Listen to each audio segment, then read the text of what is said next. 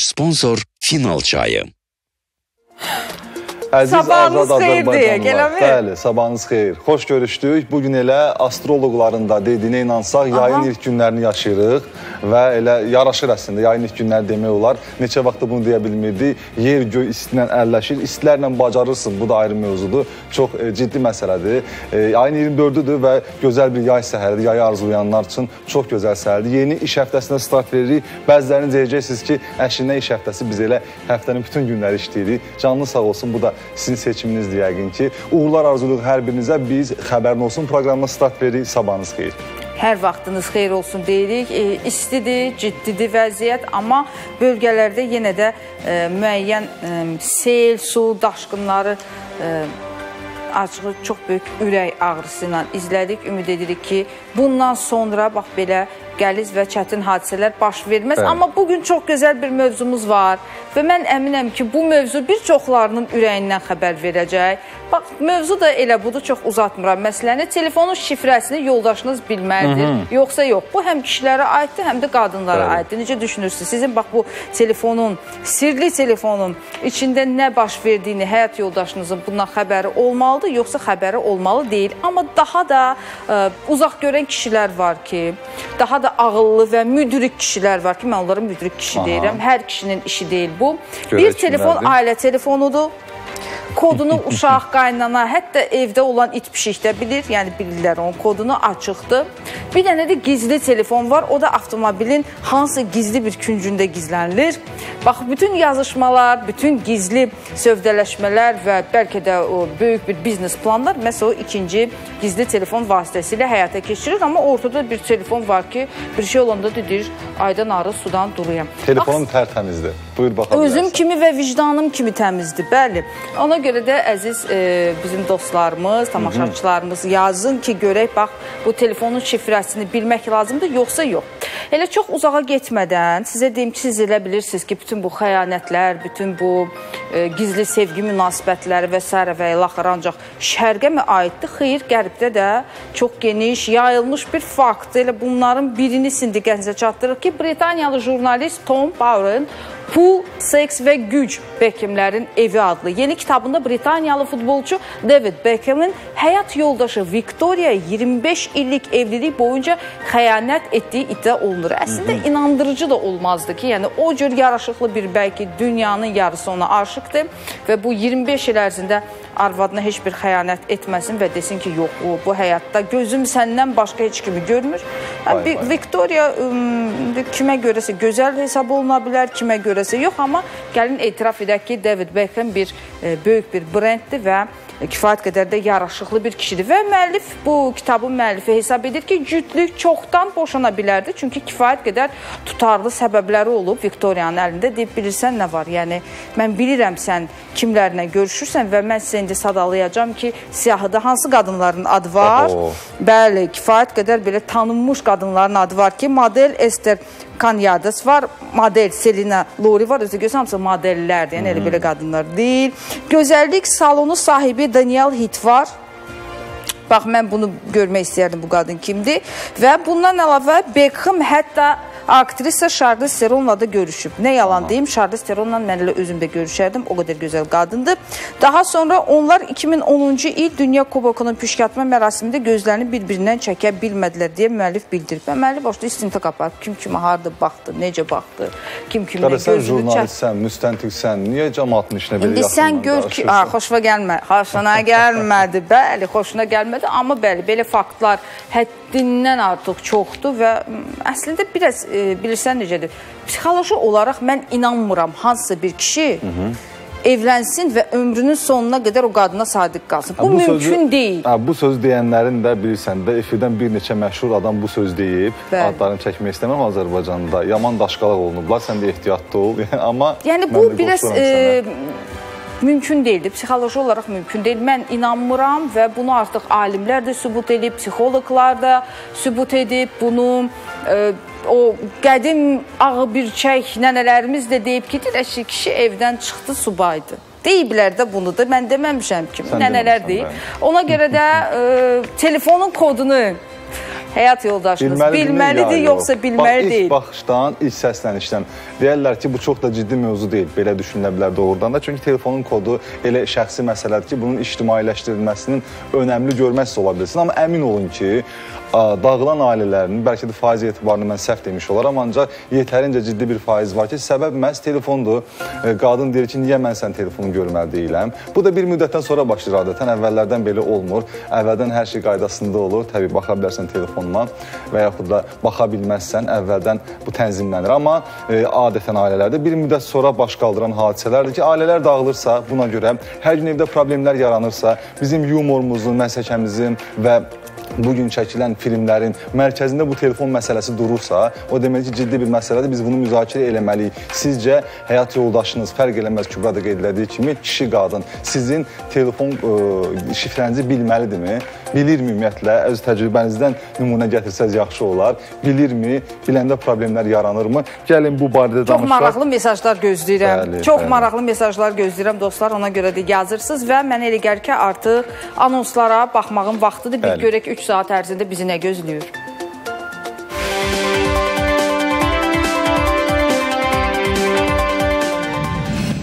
Yay günlərində avtomobilə necə qulluq edək ki, yarı yolda qalmayaq?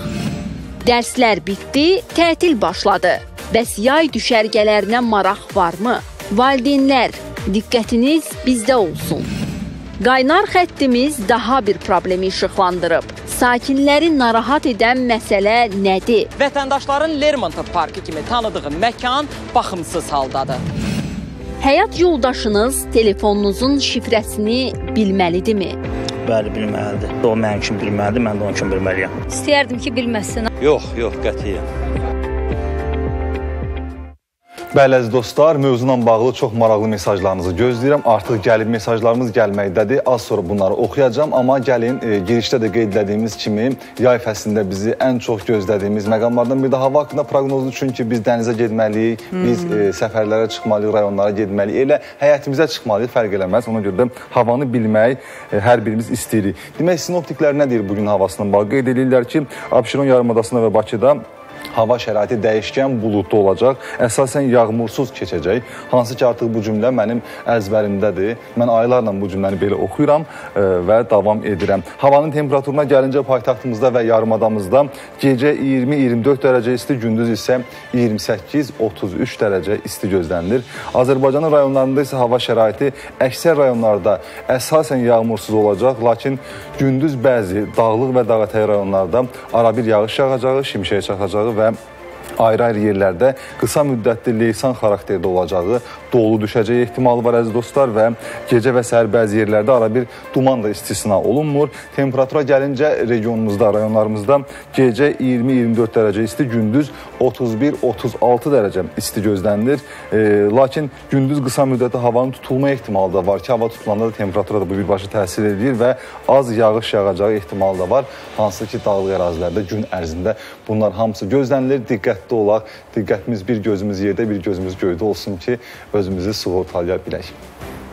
Valla mən elə gəlir ki, bizə də il boyu deyəsən hmm, hava haqqında xəbərlərdə regionlara dolu yağacaq, yağış yağacaq, sulu qar yağacaq qəbildən olan. Qarla təzə vidalaşdıqda normaldır. Bir İyunun şey 1-nə qalmadı. qədər. Bir də gördün yenə fırlandı, gəldi.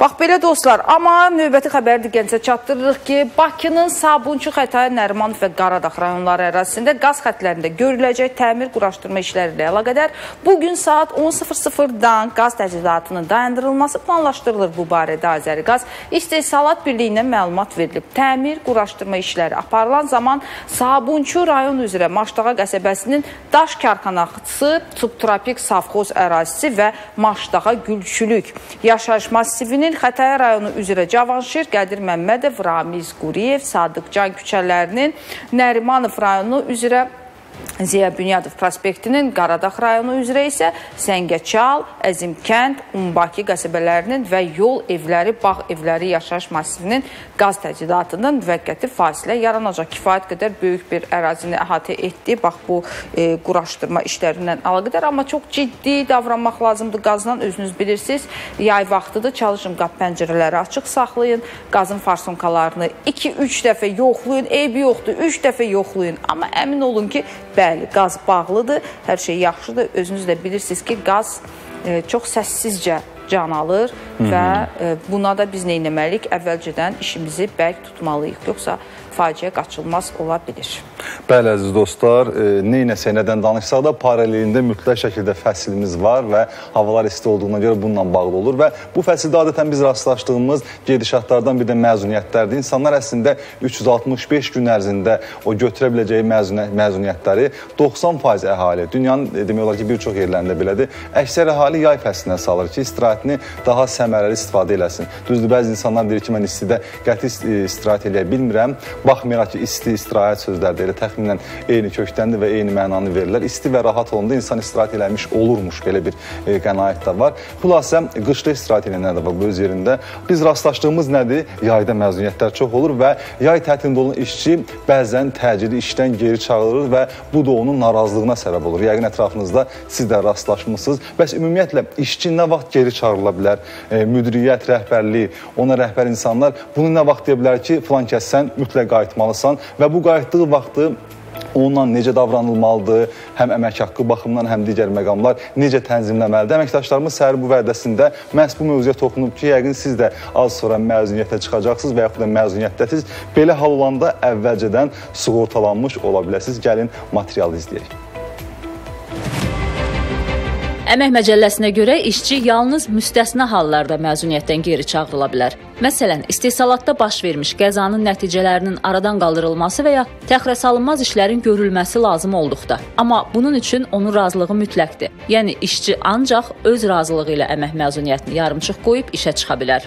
İşəgötürən tərəfindən məzuniyyətdən geri çağırılarkən işçi e, əmək münasibətləri iki şəkildə tənzimlənə bilər. Yəni işə çıxdığı gündən ona əmək haqqı hesablanır və ona ödənilmiş məzuniyyət üçün haqq ondan tutulmur. Gələcəkdə o istifadə etmədiyi məzuniyyət günlərinə görə əvəzsiz şəkildə, yəni ödənişsiz şəkildə əlavə istirahət günləri verilir və yaxud da ki, o işə çıxdığı gündən ona əmək haqqı hesablanır. Ona verilmiş məzuniyyət günləri, yəni istifadə etmədiyi günlərə görə haqq ondan tutulur. Gələcəkdə nə vaxt məzuniyyətə çıxacaqsa yenidən hesablama aparılır. Bəs işçi məzuniyyətə çıxdıqdan sonra öz istəyi ilə işə qayıda bilərmi? Əmək qanunvericiliyi üzrə ekspert Nüsrət Xəlilovun sözlərinə görə qayıda bilər, amma işə götürənin razılığı ilə. Bundan başqa işçi əmək məzuniyyətini başqa vaxtda da keçirə bilər. Amma bu halda hər iki tərəfin razılığı olmalıdır. İşçinin təşəbbüsü ilə məzuniyyət 3 halda başqa vaxtda keçirilə bilər. Bunlar deməli işçinin həmin vaxtda əmək qabiliyyətinin müvəqqəti itirməsi, əmək məzuniyyəti ilə sosial məzuniyyətin eyni vaxtda düşməsi və işçinin həmin vaxtı ezamiyyətdə olması səbəbindən. Məsələn, siz deyək ki, iyun ayına məzuniyyət planlaşdırılmısınız. Həmin ayda işçi eyni zamanda sosial məzuniyyətdə hamiləlik və doğuşa görə məzuniyyətə getməlidirsə, bu halda əmək məzuniyyətini başqa vaxtda keçirə bilər. Məzuniyyət başqa vaxtda işə götürən tərəfindən keçirilməsi isə müəssisədə işçinin həmin vaxtda məzuniyyətə çıxması işin ahənginə xələl gətirə bilərsə, bu halda işçinin razılığı ilə və işə götürən təşəbbüsü ilə məzuniyyət başqa vaxtda keçirilə bilər. Qeyd edək ki, həm dövlət, həm də özəl sektorda çalışan istənilən şəxsin əmək məzuniyyətinə çıxmaq hüququ var. Yeni işə başlayan işçi 6 aydan sonra məzuniyyət götürə bilər, amma bəzi iş yerlərində işçilərin bu hüququ pozulur. Vəkillər kollegiyasının üzvü Nəriman Əliyev deyir ki, işçinin məzuniyyət hüququnun məhdudlaşdırılması yol verilməzdir. Belə ki, Əmək Məcəlləsinin 135-ci maddəsinə əsasən işə götürən tərəfindən əmək məzuniyyətinin verilməməsi qadağan edilmişdir. Hər hansı səbəbdən işçi əmək məzuniyyətindən çıxa bilmədikdə, həmin iş ili üçün istifadə etmədiyi məzuniyyətə görə işçiyə kompensasiya ödənilir. Pozulmuş hüquqların bərpası ilə bağlı işçilər məhkəməyə müraciət etmək hüququna malikdirlər. Əgər işçinin hüquqları pozulmuşdursa, məhkəmə tərəfindən bu hüquqlar bərpa edilir. Əmək məcəlləsinə görə məzuniyyət minimum 21 gündür. Lakin vəzifəsindən asılı olaraq bəzi işçilərə 30 gün, eləcə də ümumi əmək stajına görə əlavə məzuniyyət verilir. Məsələn, işçinin 5 ildən 10 ilədək əmək stajı olduqda 2 gün, 10 ildən 15 ilə qədər olduqda 4 gün, 15 ildən çox stajı olduqda isə 6 gün əlavə məzuniyyət verilir. Barəmizdə bütün xoş sözlərə görə təşəkkür edirik əziz dostlar. Xeyli gözəl mesaj almışıq həm mövzumuzla bağlı, həm də səhərin bu vədəsindəki pozitivliyi ilə bağlı yazanlar var. Çox təşəkkür edirik və amma mən ən radikal mesajdan başlayacağam. Ən kəskin yerdən gələcəm çünki mən tamaşaçılarımızın hər birinin fikirlərinə ciddi hörmətim var. Nə deyir tamaşaçımız? Deyir ki, kişilərin e, kişilərlə bağlı toksik fikirləri xoşlamıram və e, heç kəsə e, kişilərin etibarsız hərəkətlərini təsdiqləyən şəxsi fikirlər e, yayılmasını xoşlamır bu tamaşaçımız. Ümumiyyətlə kişi eləyə bilərdir belə şeylər, amma sadəcə cəmiyyətdə kişinin xarizmasını, xarakterini cızan fikirlər söylənməli deyil. Deyir, mən də oxuyuram. Yox, bir dəqiqə, bir dəqiqə, bir dəqiqə. Yəni e, e, eləyir Yəni eləyirəm, yaxşı eləyirəm. Mən mən bomba oğlanam, zor eləyirəm. Hələ ki elə demir, amma yəni, mənası deyir ki, o çıxırmı? O Anlayışı odur mu? mesajı. İndi bilməm nə çıxırsa məna necə. Amma deyir bu barədə danışmayın. Deyir ki, kişilərin ümumiyyətlə bəli, e, kişilərlə bağlı cəmiyyətdə kişini etibarsız çıxaracaq fikirləri. Kişilər əgər özləri özlərini etibarsız çıxarırlarsa hərəkətləri ilə buna ha dedin, ha demədin. Nə, nə qalır Narahat ki ortada? olmayın, Ortada nə qalır ki? Etməyin, danışılmasın. Bütün günü yazırlar. Bütün günü yazırlar. Bir dəfə mən öz telefonumda o inboxda olanları skrin elib ortaya qoysam, Sərdar, dünya dağılar. Qoymasan Həsən onları, mən Hə. səni tanıyıram. Çünki özümə hörmət eləyirəm birinci, ailəmə hörmət eləyirəm. Amma Abi ağırlaşır mövzu yavaş-yavaş. Mən düşünürəm ki, 3 saatlıq efirimiz var. Yavaş-yavaş, yavaş-yavaş pik nöqtəyə çatacağıq onsuz da. Hələ tələsin əziz dostlar. Kübra sən də emosionallaşma. yox, mən nə Vaxtımız var çoxdur. onu deyirəm, nə var Açma onu sandığı, deyirəm. Artıq heç nə demirəm ki. 5502 nömrəsindən tamaşaçımız deyir ki, ən böyük biclik düzdüydü deyiblər. E, gözəl qızım, gözəl oğlum. Əgər ürəyə şübhə toxumu səpmək istəmirsənsə, bəli, telefonun kodunu da nə edəcəklərini də bir-biri ilə məsləhətləşməlidir insanlar. O zaman ailə uzun ömürlü olur. Bizim ailəm 50 ilə yaxındır ki, bu cür davamlıdır. Gözəllərim. Çox təşəkkür edirəm xoş sözlərə görə, amma 50 ilin yəqin ki, hardasa bir 30 ilini telefonsuz, Telefonsuz xoş ya. firavan yaşamısınız. Bu da işin içində var. Amma e, 50 il bir yerdə yaşamaq bizim üçün, bizim nəsil üçün, ümumiyyətlə gələcək nəsil üçün gözəl bir nümunədir. Bunu bacarmısınızsa, hətta oradan sizin məsləhətlərinizə ehtiyacımız var. 2373 nömrəsindən oxudum bu mesajı, mən yox oxumamışam. Nə deyir tamaşaçımız? Özünə güvənən şəxs telefona şifrə qoymaz. Xatakarlar və dəcəllər şifrə qoyar. Bu dəcəl sözündən xoşum gəldi, ona görə mesajı rahatlıqla səsləndirdim. Növbəti mesaj hardan gəlib? 8750 nömrəsindən mövzumuzla bağlı tamaşaçımız nə düşünür? Deyir ki, mənim ailəmdən gizli heç bir işim yoxdur. Nə gizli işim olub, subaylıqda Rusiyada olub. Orxan Bakıdan. Orxan müəllim, sizin də belə deyək də dövrün bir vəziyyəti vardı ki, eləcə çıxırız o vəziyyətdən. Rusiya var idi, telefon yox idi. Həmin vaxtlarda belə deyək də insan ə, bütün o prosesləri orada oksidləşdirmisiniz yandırmısınız, bitirmisiniz, gəlmisiniz üçün Azərbaycan indi xoşbəxt yaşayırsınız, problem çıxmır ortaya. Amma insanlar elə burada telefonla və digər formalarda həll etməyə çalışırlar. Nəticədə də elə burada yandırırlar. Ona görə də e, nə deyə insanlara sizdən məsələ istəyirik görüb götürən bir insan kimi. Növbəti mesajımız 7310 nömrəsindəndir. Əziz tamaşaçılarımız, yayın bu ilk günlərində belə gülərüzlü, enerjili görünməyimizə çox görməyinizə çox sevinirik. Sizi həmişə belə enerjili olmağınızı arzulayıram. Günün mövzusuna gəldikdə isə telefon şifrəsini nəinki yoldaşım heç kəs bilməli deyil. Ona görə ki, bu şifrə sirr olaraq təkcə özümdən başqa heç kim bilməsə yaxşıdır. Əgər kimsə bilsə, bir çox fəsadlar baş verə bilər. Yevlax rayonunun Ərəbbəsirə kəndindən daimi tamaşaçımız Bəxtiyar Vahidoğlu. Bəxtiyar mənim təşəkkür edirəm. Yavaş-yavaş daşlar yerinə oturur. Buyur Kübra sözün varsa. Yox, sözüm yoxdur. Hmm. Sözümü dedim mən. Sözümü dedim, imzamı da atdım. Vəssalam. Bəli əziz dostlar, belə mən düşünürəm ki, bu qalmaqallı bir mövzu olacaq. Çünki dəfələrlə bu mövzuda biz fikir haçalığını e, müşahidə eləmişik.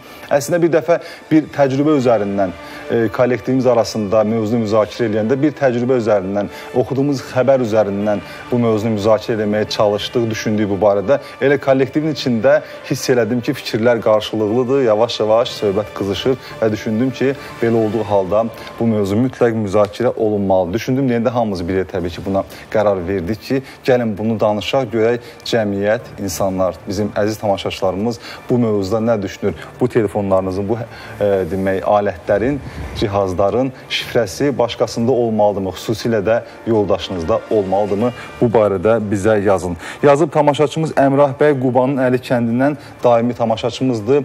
Əmrah bəyə e, salam göndəririk. Qubanı salamlayırıq. Sabahınız xeyir. Suala gəldikdə çox maraqlı sualdır. Əlbəttə telefon və internet şifrəsiz olmaz. Ancaq biz ailədə 2 nəfər olduğumuz üçün bir şifrədən istifadə eləmirik. Ona görə ki, şifrə istifadə etmirik ki, bir-birimizdən heç bir gizlinimiz yoxdur deyirəm Rəhbəy. Daim elə belə mehriban, e, belə deyək də, xüsusi gizlinləriniz olmadan yaşaya bilirsinizsə, bu da gözəl bir göstəricidir. Bax, bunu necə bacarırsınız, onu da yaza bilərsiniz növbəti dəqiqələrdə. Görək alınırmı belə? Dostlar, yazın müzakirə edək, ə, amma hazırda bir məqam var və fikrim, ə, zikrim həqiqətən də o xəbərə fokuslanıb ki, ə, tətildir. Hı -hı. Uşaqları belə deyək də məktəbdən tətilə buraxıblar və bu 9 ay ərzində tədris ə, müddəti ərzində uşaqlar həqiqətən də çox əziyyət çəkir. Biz bunu tam etiraf etməliyik. Təhsil sisteminin hələ çox böyük, həddindən artıq böyük və əsaslı dəyişikliklərə ehtiyacı var. Bilmirəm neçə 10 illikdən sonra biz bu böyük dəyişikliyi görəcəyik. Dururlar uşaqlar, bəzən ac-yalavac gedirlər məktəbə, çünki yolda tıxaclar həddindən artıq çox olur. Uşaqların bəziləri şəhərin bir başından digər başına məktəbə getməli olurlar və valideynlər düşünür ki, tutalım mənim övladım əgər bu məktəbdə təhsil alsa daha savadlı olacaq, amma sonunda görürük ki, yenə də aşağı-yuxarı uşaqlar eyni səviyyədə təhsil alırlar və müəllim yanına, repetitor yanına, kurslara və son dövrlərdə uşaqlar ki, xaricə, xarici e, ölkələrin universitetlərinə hazırlaşırlar. Onların proqramları daha ağırdır, onların kursları daha ağırdır. Yəqin ki, bilirsiniz, IELTS var, TOEFL var, SAT var və bütün bu ağır perioddan sonra uşaqlara nəhayət ki 2-3 aylıq nəfəs almaq verirlər ki, gedin nəfəs alın. Amma gəlin etiraf edək ki, bu 2-3 ay ərzində uşaqlar böyük bir boşluğa düşəndən sonra da sentyabrdan onların ipini yığmaq çox çətin olur. Necə düşünürsünüz? Bəlkə elə yay tətilində onları yay məktəblərinə göndərək və bu yay məktəbləri Azərbaycanda nə dərəcədə yaxşı ə, təşkil olunub. Məsəl üçün biz ə, bilirik ki, bəzi valideynlər təbii ki, o da artıq maddi imkana və dəstəyə bağlı olan bir məqamdır. Xaricə göndərirlər uşaqları samaskullara, yay məktəblərinə və uşaqlar oradan qaydanda kifayət qədər böyük bir yaxşı baqajla qayıdırlar. Gəlin Zemfiranın hazırladığı sujetə baxaq görək Zemfira bizim üçün nəyi araşdırıb, nəyi tapıb.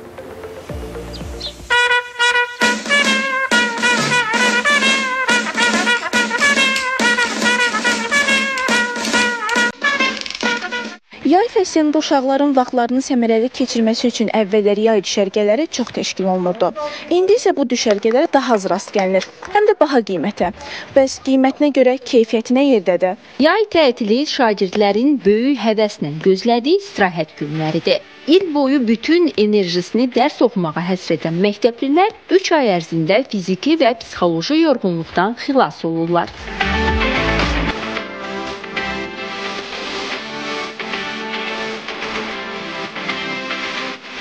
Yay düşərgəsində uşaqlar müxtəlif idman növlərindən istifadə edərək vaxtlarını səmərəli keçirirlər. Bunlardan biri də futbol idman növüdür.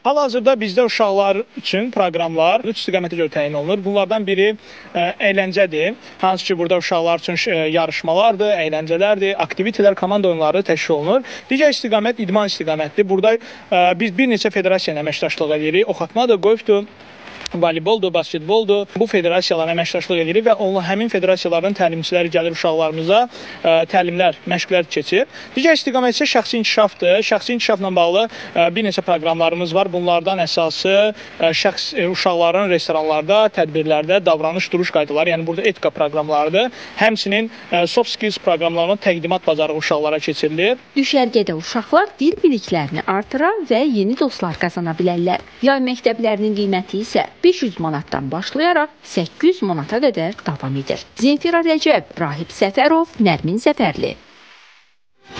Bəli, bu məlumatı da əldə etmiş oldunuz ki, bax uşaqları belə düşərgələr və yaxud yay məktəblərinə də göndərə bilərsiniz. Amma bu an üçün arzu edirəm ki, hər kəsin evində o qədər bol ruzu bərəkət olsun ki, uşaqlarınızı hara istəyirsinizsə və yaxud uşaqların könlü hara getmək istəyirsə, ora göndərə bilərsiniz. Bax, hər birinizin evində bol ruzu bərəkət olsun və süfrəmizdə hər zaman qaynar və isti, pürrəngi, təzə dəmlənmiş çayımız olsun.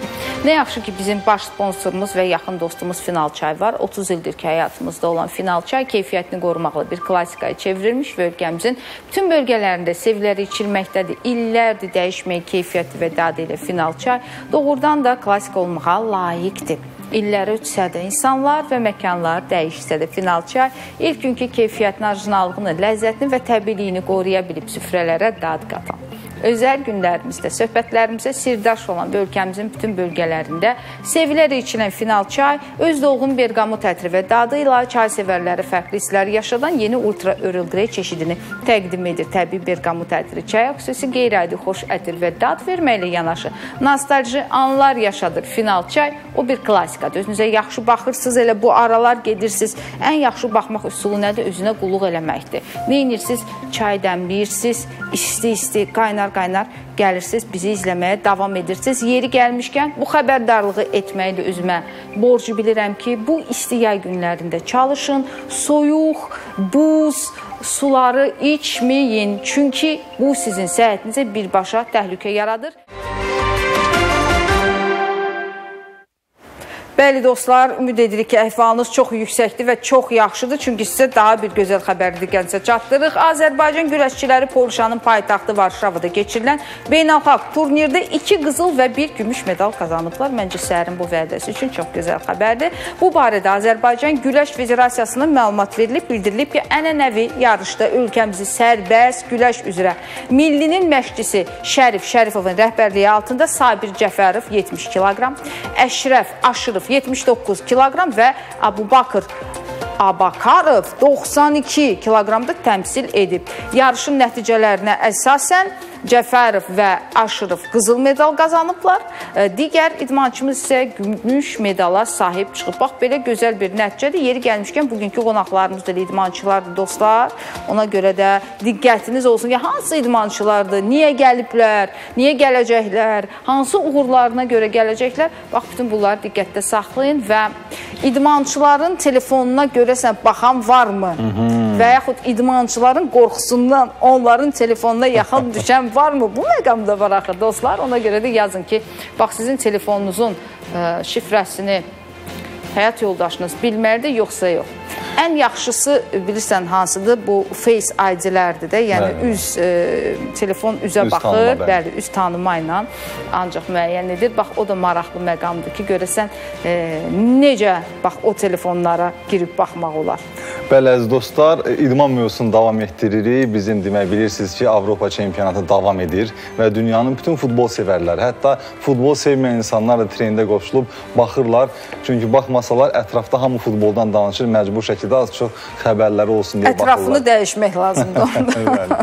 Ona görə də mən düşünürəm ki, elə bu vadidə bu vaxtda sizə e, Almaniyada keçirilən futbol üzrə Avropa çempionatı ilə bağlı məlumat verim. Belə ki, qrup mərhələsinin 3-cü turunun Şotlandiya Macarıstan görüşü başa çatıb. Ştutqartdakı arenada keçirilən maç Macarların minimal hesablı qələbəsi ilə başa çatıb. Oyunda yeganə qolu 93-10-cu dəqiqədə Kevin Çobot Şotlandiya yığmasının qapısından keçirib bu qələbə sayəsində 3 xal qazanan Macarıstan A qrupunun 3-cü sırada başa vurub. Şotlandiya isə bir xalla sonuncu olub və mən bu yerdə istərdim ki, elə e, Macarıstan e, komandasından bağlı qısaca bir şey deyim ki, doğrudan da Macarıstan e, ötən oyunda da düzdür məğlub olmasına baxmayaraq çox gözəl futbol nümayiş etdirdi. Bu onların haqqı idi ki, e, üçüncü olsunlar heç olmasa və o üçüncülük münasibətini təbrik edirəm. Mən düşünürəm ki, bu futbolda Macarıstan futbolunda bu komanda bir artıq yeni nəfəsdir. Stabil, tələsmədən qabağındakı komandanın kim olmasından asılı olmayaraq öz oyunlarını göstərə bilirlər.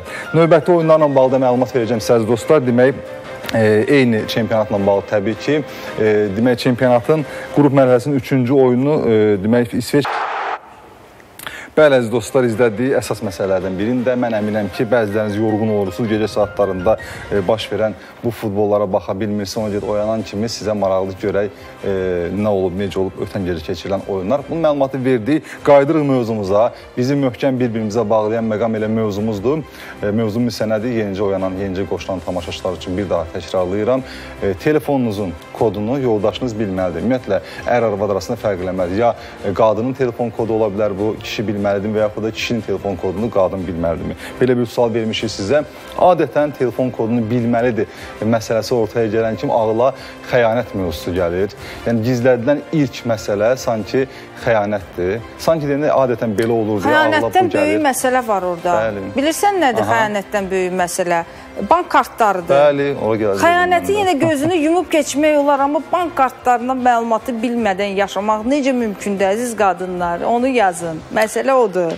Bəli, yazın bizə yazanlar var. O mesajlardan bir neçəsini səsləndirəcəm. Qubadan silsilə mesajlar almışıq. Bir neçə mesajımız var. Onlardan ilkini səsləndirirəm. Pərviz bəy yazır bizə Qubadan. Deyir ki, Qubanın İspi kəndindən yazıram sizə. Əcəb eləyirsiniz, İspiyə salamlar göndəririk. Sabahınız xeyir. Mənim fikrimcə evin xanımı şifrəni bilməlidir. Ona görə ki, o evdə dürüstlük varsa nə problem ola bilər şifrə bilinməklə?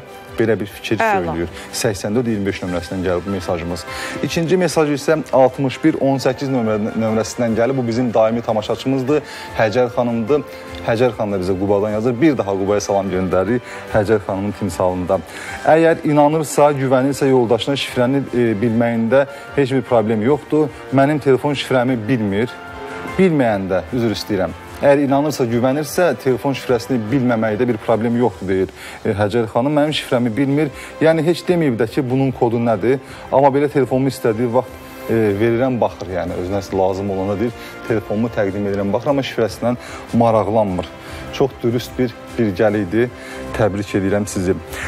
Ümumi şifrəni bilsələr də bir bankın şifrəsini, bankların şifrəsini bilməsə daha yaxşıdır. Quba rayonundan yazır bunu tamaşaçımız Vüqar müəllim yazır. Vüqar müəllim sabahınız xeyir. Sizin demək mesajlarını biz maraqla səsləndiririk. Çox maraqlı belə deyək də müəllim, elə Vüqar müəllim təqdim edir sözünüzü. Mən bir daha deyirəm, yəqin siz müəllimsiniz. Hətta orta məktəb müəllimi olmasaz belə artıq bir müəllim statusu qazanırsınız fikirlərinizdən. E, xüsusən də digər mövzularımıza yazın geniş fikirlərinizi nəzərdə tuturam. Növbəti mesajımız gəlib bizə 7839 nömrəsindən. Yoldaşımla biz bir-birimizin kodunu bilirik. Bizdə gizli heç nə yoxdur. Nə olsa bir-birimizlə bölüşürük. Buradan ona deyirəm, Allah onu mənə çox görməsin. Xahiş edirəm, oxuyun deyir. Baxın, oxudum mesajınızı əziz tamaşaçımız. E, sizə belə gözəl münasibətə görə də biz aparıcı kimi təşəkkür edirəm. Çox rahat, çox səmimi bir mesaj yazmısınız. Demək, adım Faiqdir deyir tamaşaçımız. 3554 nömrəsindən gəlib bu mesaj. İmişlinin Ölcələr kəndindən yazır və mən düşünürəm ki, ailəsindən telefonu gizlətməli deyil, e, kodu gizlətməli deyil deyir tamaşaçımız. İstər qadın, istərsə kişi bir-birinə güvəni olmalıdır. Əks halda o ailədə sevgi yox, məcburiyyət ola bilər deyir. Və çox maraqlı mesajlarımız dayanmadan gəlməkdədir. Sadəcə mən istəyirəm ki, bu mesajları gözdən keçirə-keçirə oxuyum ki, mövzumuzla bağlı yazılan mesajları önə keçirim. Digər problemlər var ki, onları bizim komandamız demək e, irəliləyən dəqiqələrdə, irəliləyən saatlarda analiz edəcəklər. E, onların içindən e, daha belə deyək, ilk olaraq həll olunmalı olan problemlər, işıqlandırılmalı olan problemləri önə çəkərək sizinlə əlaqə saxlayacaqlar. E, təşəkkür edirəm mesajlara görə. Mən sözü ötürəm Kübraya. Onda desəm bir vacib xəbər var əlində. Məlumatı çatdırsın, davam edirik. Bəli dostlar, həqiqətən də vacib xəbərdir və mən düşünürəm ki, bu qəbildən olan xəbərlərin daha çox tirajlanması vacibdir. Çünki ortada insanların haqq və hüquqları var, azadlıqları var. Onların ən təməl hüquqlarından biri də öz tarixi torpaqlarına qayıtmaqdır. Necə ki 30 ildən sonra insanlarımız işğal altında olan ərazilərimizə qayıtdılar. Bax bu insanların da haqqıdır ki, öz ərazilərinə qayıtsınlar. Söhbət Qərbi Azərbaycanlılardan gedir. Və yadınızdadırsa, Cümə günü efirində bizim əməkdaşımız Ruhiyyə Balakişiyeva bizimlə Naxçıvandan canlı bağlantıya çıxdı. Canlı yayımda bildirdi ki, bəs əziz dostlar, Naxçıvanda, Batabatda Qərbi Azərbaycanlıların adət-ənənələrini özündə əks etdirən geniş bir tədbir keçirilir, festival keçirilir və hətta iki gəncin toy mərasimində məhz həmin o tədbirdə keçirdilər. Və siz indi bu materialda vətən həsrəti ilə yaşayan insanları görəcəksiniz. Və bütün bu çətinliklərə baxmayaraq, necə ki, axırıncı o deportasiya zor gücünə 1988-ci ildə zor gücünə bir deportasiya olundu o insanlarımız Bəli. əbədi əzəli torpaqlarından, köklərindən zorla bax belə qoparıldılar və Azərbaycana göndərildilər. Amma mən bunu hər zaman deyirəm, Qərbi Azərbaycanlıların gözəl bir adəti odur ki, bütün çətinliklərə baxmayaraq birliklərini qoruya bildilər. Bir-birinin arxa dirəyi olmağı bacardılar. Adət ənənələrini qoruya bildilər, mətbəxini qoruya bildilər və bunu mütləq şəkildə deməliyəm. E, Baku TV-nin Qərbi Azərbaycan departamenti var, Sərdar vaxtın olsa mütləq bax orada canlı şahidlərdir. Qərbi Azərbaycandan bir zamanlar zor gücünə sürgün olunmuş, deportasiya olunmuş insanların danışdığı xatirələrdir. Bir-bir danışırlar.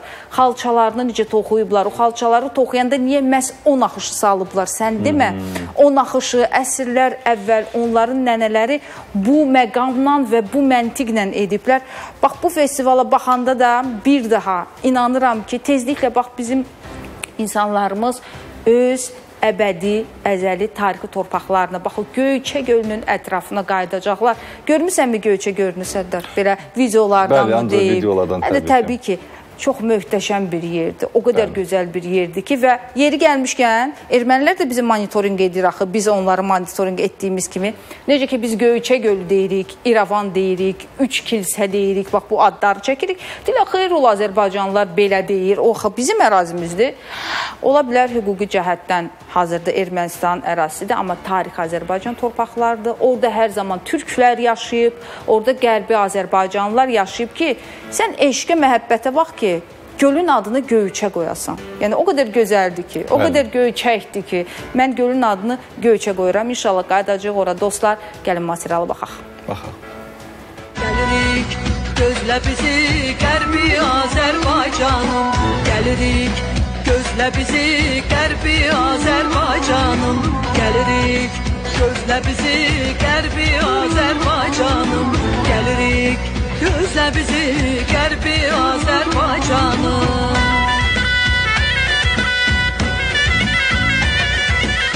Dəfələrlə Ermənistanın deportasiya siyasətinin qurbanı olan Qərbi Azərbaycanlılar tarixin çətin mərhələlərindən keçiblər. Onlar harda məskunlaşmaqlarından asılı olmayaraq adət-ənənələrini, həyat tərzlərini qoruyub saxlayıblar. Onlar doğma göçə mahalına qayıtmaqla bağlı ümidlərini də heç vaxt itirməyiblər. Batabat yaylağında keçirilən festival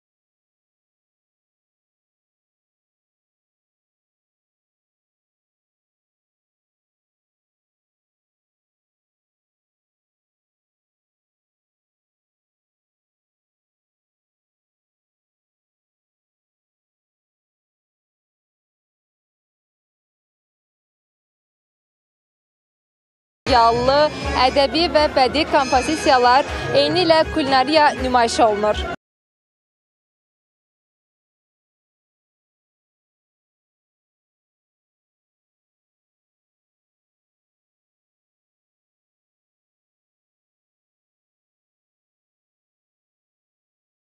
Hər bir qərbi Azərbaycanlılar qürur hissi keçirirdi. Mən özüm 1988-ci ildə Qərbi Azərbaycandan deportasiya edilmişəm. Oranla bağlı xəyallarım var. Orada uşaqlığım, gəncliyim keçib. Əlbəttə ki, hər bir Qərbi Azərbaycanlının ürəyindəndir ki, biz Qərbi Azərbaycana qayıdaq. Cəmisi 1-2 kilometr artıq o tərəfə Qərbi Azərbaycandır və düşünürəm ki, gün gələcək bizim soydaşlarımız öz tarixi torpaqlarına sülhsevər xalq olan Azərbaycanın cənab prezidentin yeritdiyi o düzgün siyasət nəticəsində qısa müddət ərzində dönəcək. Artıq ikinci ildir ki, Naxçıvan ölkəmiz üçün əhəmiyyətli olan böyük bir tədbirə ev sahibliyi eləyir. Həm Qərbi Azərbaycanlıların Naxçıvan rayonlarında kompakt yaşadığı yerlərdə onlarla müxtəlif e, tədbirlərin, mədəni tədbirlərin keçirilməsi, həm eyni zamanda onların folkloru, məişətinə yaxınlıq, e, yaxından tanış olmaq üçün tədbirlər həyata keçirilir.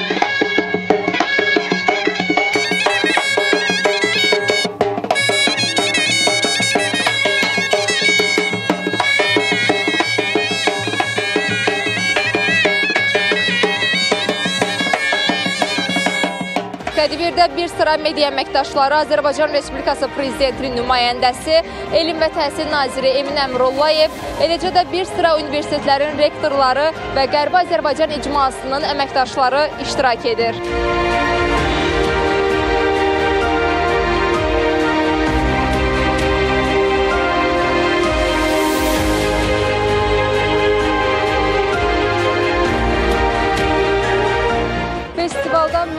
İsti-isti yeməklər hazırlanır. Onlardan biri də Qərbi Azərbaycana məxsus olan kətədir. Salam əleyküm, necəsiz? Salam, xoş gəlmisiniz. Həmişə siz gəlin. Çox sağ olun, təşəkkür edirəm.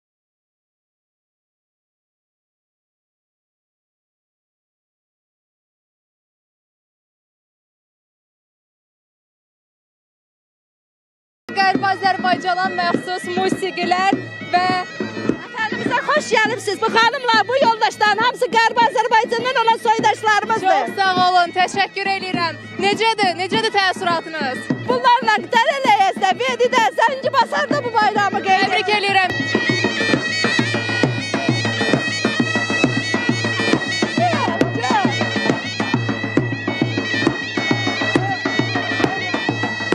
Sonra biz niyə eləyirik? Film çayı içirik. Allah mübarək eləsin. Film çayımızı paylaya bilərsiniz qonaqlarımıza.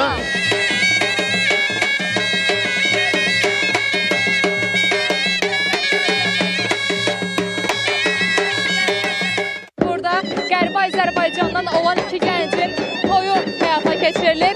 İstəyirəm onların da fikrini salam.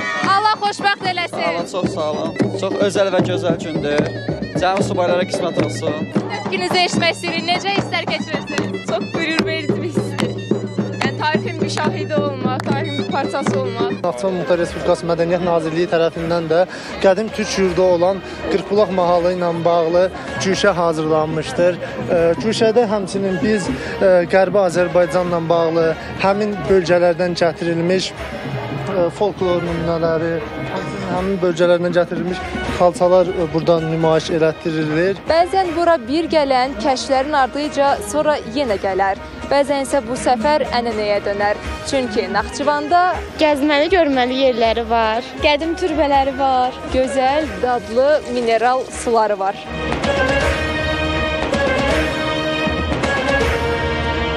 Azərbaycanın qədimliyini qoruyan alətlərlə sizi tanış eləmək istəyirəm. Salam, necəsiz? Salam, təşəkkür edirəm. Xoş gəlmisiniz. Çox sağ olun. Bizi tanış eləyərdiniz bu alətlərlə. Əlimdə ə, hazırda istifadə etdiyim cəhrədir. Yun əyrirlər. Ə, Əvvəl nənələrimiz bunda yun əyrirlər. Eyni zamanda ə, bizim orada başqa bir qabımız var ki, o qaba qovurmalıq bişirib yerin altına basırıb qışa çıxarırdılar yemək üçün hazır. Naxçıvanı gəzmək, kəşf etmək bir tarixdir.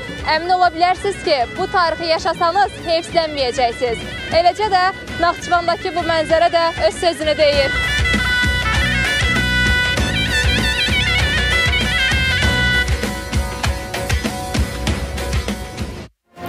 Çox möhtəşəm görüntülərdir. Çox möhtəşəm görüntülərdir. Ruhiyyəyə çox dərindən təşəkkür edirik bu belə geniş, gözəl bir materiala görə və doğrudan da Azərbaycana bu gün elə festivallar yaraşır.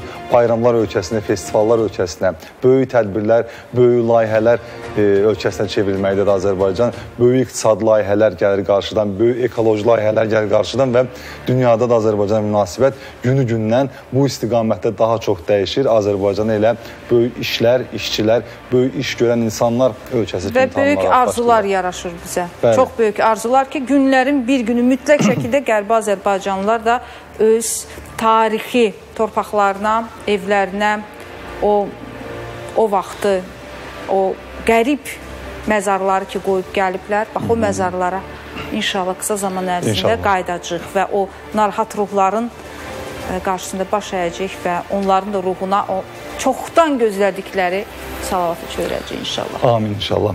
Əziz dostlar, bəli, bizim amma qalmaqda olan xırda problemlər də var ki, hər kəs öz işini görməlidir. Mən düşünürəm ki, bir ölkənin, bir e, dövlətin dövlət olması üçün hər kəs öz işini mükəmməl şəkildə görməyə çalışmalıdır. E, professionallıq ölkəni, dünyanı xilas edən ilk şərtdir mənə görə və təbii ki, bu mənim fikrim deyil. E, e, kandan bu yana bunun deyirlər, dəfələrlə deyilmiş fikirlərdəndir və biz də öz işimizi görürük. Cəmiyyətimizdə olan narahatlıq doğuran problemləri efirə gətiririk, ictimailəşdiririk və sizin fikirlərinizi öyrənməyə çalışırıq. Onlardan bir də bir daha deyirəm, ilk səslənişdən ola bilsin ki, çox da ciddi problem kimi görünməz, amma əslində ailələrimizdə mütəmadi problemlər yaradan məqamlardan biri olan e, telefon kodu ilə bağlıdır. Telefon şifrənizi yoldaşınız, həyat yoldaşınız bilmədiyiniz sual vermişik sizə və maraqlı cavablar gəlməkdədir. Onları səsləndirirəm.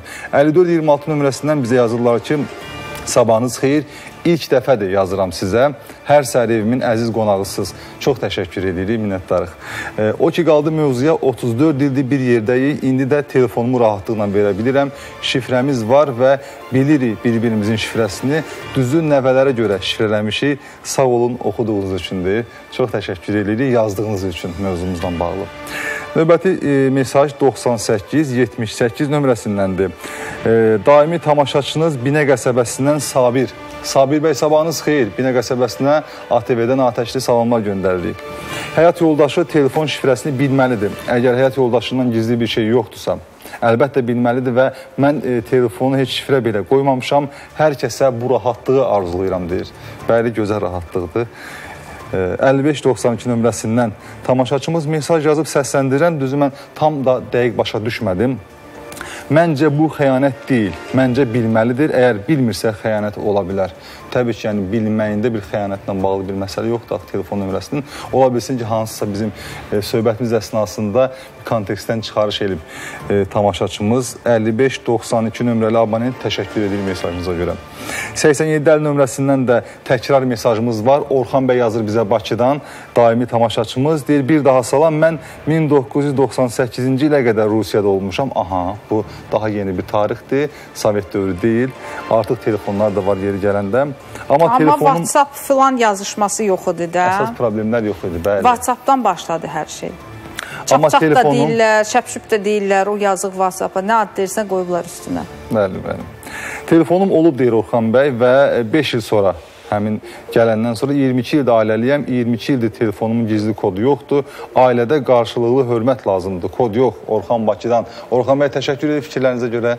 Ümid edirəm ki Ümumiyyətlə belə bir fikir var. Deyir ki, əgər nəsə tapmaq istəyirsənsə, beynində artıq nəsə deyir o şübhə toxumu varsa, mütləq deyir onu tapacaqsan. Telefon olmasın, nə bilim, e, kağız olsun, məktub olsun, telegram olsun, axır nəsə tapacaqsan. Əsas odur ki, əgər axtarmaq istəyirsənsə, amma elə qadınlar da tanıyıram ki, o, onlar e, baş verən proseslərə rahat yanaşırlar. Bax elələri də var Sərdar.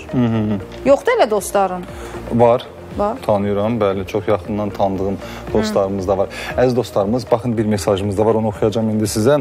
Əsas məsələ amma nədir? Mən düşünürəm ki, bir kişinin də indi bəlkə də indi bizim redaktorumuz da qonşu otaqdan, efir otağından səsləri eşidəcəm bununla bağlı. Mən düşünürəm ki, hər kişinin e, həyatının e, bax yenə də həmən qadın məsələsi girməsin söhbətə. Bir özəl güşəsi olmalıdır. O güşəyə e, şərt deyil ki, həmən e, Yəni digər şəxsi bir qadını görə sərhədləri deyirsən. Bəli, bir Şəxsi fərdi bir yer olmalıdır. Məsələn, ən belə pir kimi təmzindir. Məsələn, kişi qadına hansısa bir sürpriz eləmək istəyir. Məsələn, deyir, indi ağlıma gələn bu oldu. Ona ad günündə tutaq ki, avtomobil hədiyyə eləyəcək və yaxud da böyük bir ev boyda gül buketi hədiyyə eləyəcək. Buna hazırlıq prosesi gedir. Yoldaşın da telefona baxanda çıxır mesaj orada. İstər-istəməz də biz mesajı açmasaq belə gözümüz çəkir, oxuya bilərik. Bu kimi sürprizlər pozula bilər. Məsələn, indi deyəcəksiniz ki, nə qədər belə hallar var, amma Ya mən bir şeylər. Bir hissəsi guşə ilə, olmalıdır mənə məqamın bir hissəsi ilə razıyam Mhm. ki və düşünürəm ki, bunu övladlarımıza qarşı da bu cür e, rəftar etməliyik. Təəssüflər olsun ki, çox ailələrdə bu mədəniyyət yoxdur. Qapı döymək mədəniyyəti belə yoxdur. Yəni çox böyük bir problemdir. Bəli, hər bir insanın öz şəxsi sərhədləri olmalıdır. Əgər bir adam bir otağındadırsa, mütləq bu qapını döymək Bəli, lazımdır. Anadır, bəli. atadır, uşaqdır, ərdir, arvaddır, heç bir əziyyəti yoxdur. Adam tanıyıram ki, işdə belə o e, subordinasiya deyilən bir şey var da, onu saxlamır. Əgər hansısa otağa daxil olursan, mütləq qapını döyməlisən. Bu sıradan bir mədəniyyətdir, etikadır və bir daha deyirəm, hər bir insanın şəxsi sərhədləri var ki, ora girmək olmaz. Amma gəlin etiraf edək ki, təəssüflər olsun ki, son zamanlar elə biz də bunu sosial şəbəkələrdə görürük. Bir e, qruplar var ki, orada qadınlar ürəyini açıb tökürlər ki, bax ərimin yazışmasını tutdum, həyat yoldaşım məni sən demə filan kəslə xəyanət edirdi, telefonunda gördüm, bunu gördüm, onu gördüm, nə bilim belə oldu, elə oldu və kişilərin də ürəyini tökdüyü bax belə bir sosial qruplar var ki, orada da kişilər deyirlər ki, bəs e, sən demə bu da yaxşı bir şey deyil yəni. Sən demə həyat yoldaşım məni öz anası ilə müzakirə edirmiş, yoxsa eltisi ilə müzakirə edirmiş, yoxsa baldızı ilə müzakirə edirmiş. Yəni bu e, söhbət yenə deyirəm, ancaq biz xəyanətdən danışmırıq da, ümumi danışırıq. Bu müzakirələr var ki, şəxsən heç kimin xoşuna gəlməz ki, ən yaxın adamın, həyat yoldaşın səni kimlənsə müzakirə eləsin. İstəyir qadın olsun, istəyir kişi olsun da. Bax bu bizdə bir var ki, hardasa qeybət elədin, çıxdı, getdi, bir də var bunun yazışması durur. Və insan bunu oxuyanda təbii ki, ona yaxşı təsir etmir və sözümüzü də ona gətiririk ki, əziz dostlar, Bax bu telefonun şifrəsini həyat yoldaşınız, yəni istəyir xanımınız və yaxud əriniz, bax həyat yoldaşınız bilməlidir yoxsa bilməli deyil. Bax belədir məsələ. Ona görə də yazın, müzakirə edək, görək vəziyyət necədir. E, görəsən həqiqətən də bu um, okeanın o başında yaşayan insanların vəziyyəti necədir? Orada ümumiyyətlə insanlar daha sakit yanaşırlar belə məsələlərə. Çox o bir dənə söz var, lightdılar. Bəli. Belə ümumiyyətlə və mən fikir verirəm o ə, cəmiyyətdə baş verən hadisələrə diqqət yetirirəm. İstər-istəməz onların da sosial şəbəkələri var, segment var da, yəni ingilis dilli segment var. Oxuyuram onları da. Onlar daha rahatdılar. Bizim kimi ə, insanlardan yapışıb durmurlar. Bizdə var axı fikir vermisən cəmiyyətdə. Fikir vermisən o da boşananda da boşana bilmirlər. Bir-birinə yapışırlar. Bu ona ağır sözlər, o bunun e, ünvanına şərləmə filan və görürsən ki, insanlar bu ayrıla bilmirlər. Amma orada çox belə sivil, anlayırlar ki, bəli, bir-biri üçün uyğun deyillər və heç bir belə o ə, səhnələr, dramatik səhnələr yaşamırlar, amma siyasətçiləri dramatik səhnələr yaşayır. Məsələn, Trampla Bidenin bilirsiniz də çox belə maraqlı hadisələr bizi gözləyir. Noyabrın 6-sında bu ilin noyabrın 6-sında Amerikada növbəti prezident seçkiləri baş tutacaq və təbii ki, hər bir namizəd istər respublikaçılardan, istər demokratlardan çalışır ki, özünü daha yaxşı, daha kübar, daha ələ açıq, daha belə jest edən kimi göstərsin. Məsələ nədən ibarətdir? Amerika Birləşmiş Ştatlarının keçmiş prezidenti Donald Trump Filadelfiya e, tərəfdarlarının mitinqindən əvvəl Tony and Nick Sticks restoranında ofisant üçün nə az, nə çox düz 500 dollarlıq bəxşiş qoyub biz ona çivoy deyirik də bilirsiniz yəqin ki və müvafiq çekin üzərində də yazıb ki, rədd olsun bəxşiş vergisi. Bax mən bunu bilmirdim. Sən demə bəxşişdən də vergi tutulurmuş Amerikada. Amerika birazdan uşaq e, milçəklərdən də yəni vergi tutacaq. Çox ağırdır ya oradakı vergi sistemi. bəli. Yəni ağlımız bizə getməsin. E, bax belə. Və obyektin sahibi Niki də deyib ki, e, əslində Trampın səfəri, yəni bizim restorana səfəri çox gözlənilməz olub. Amma deyir belə bir şey olmuşdu. Bir gün əvvəl elə bir ki, bir qadın gəlmişdi bizim restorana və demişdi ki, xüsusi qonaqlar üçün həftə sonuna 200 sendviç e, hazır edib qoyarsınız. Amma burada da bir mənə elə gəlir ki, qeyri-səmimiyyət var.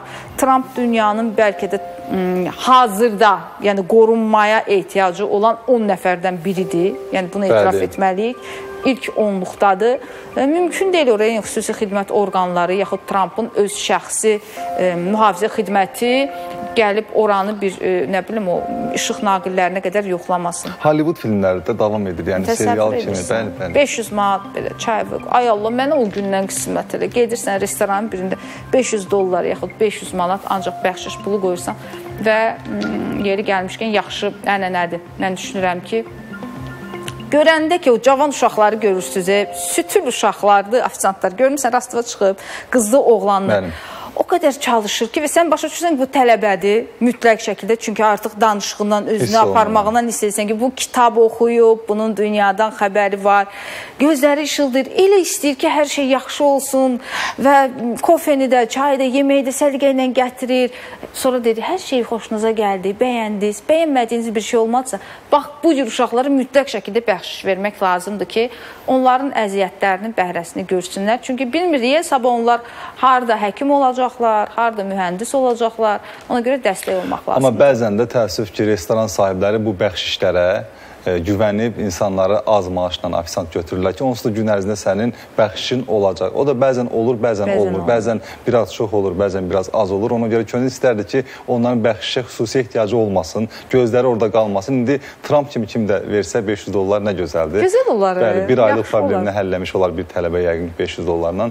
Ona görə də bu gözəl bir e, təbii Yəni jestdir. siz artıq ofisantı görəndə müəyyən edirsiniz də, tələbədir, tələbə deyil. Tələbədirsə, mən sizi çağırış eləyirəm. Onsuz da restorana getmisiniz, artıq bəlli bir xərciniz çıxıb. 5-3 manat da çox çıxsın, amma uşaqların üzü gülsün tək. Bəli, əziz Mən dostlar, çox maraqlı mövzumuz var. Bir daha elan edirəm, telefon e, şifrəsini həyat yoldaşınız bilməlidirmi belə bir sual vermişinizsə, fərq eləməz. İlk olaraq kişilər ağla kişilər gəlirsə də əslində elə qadın tərəfdən də baxa bilərik, kişi tərəfdən də baxa bilərik məsələyə. Bizə yazın, telefon nömrəmiz 055 214 99 94-dür. Qaynar xəttimiz bu həm də bizim bizə mesajlarınızı yazın. Az sonra onları səsləndirməyə davam edəcəm.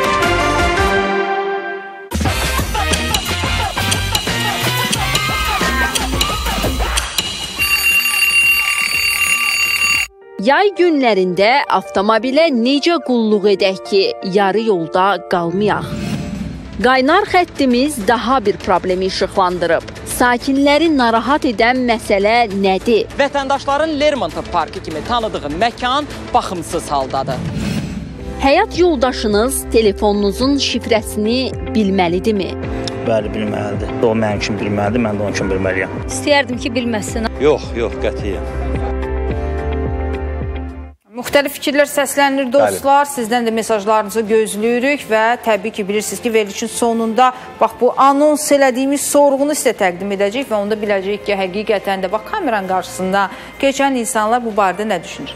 Dostlar, saat 8 isə deməli xəbərləri diqqətinizə çatdırırıq. Dünən saat 16 radələrində artıq yenə bir xəbər bizi titrətdi. Sən demə daha bir çox mənzilli, e, hündür mərtəbəli binanın liftinin trosu qırılıb və içində 5 nəfər olmaq şərti ilə gəlib üzü aşağı və xəsarət alanlar var. Bu artıq neçənci hadisədir Sərdar yadına Yaxın gəlirsə? günlərdə artıq bəli eşitdiyimiz 3-cü hadisə. Üçüncü hadisədir, bəli.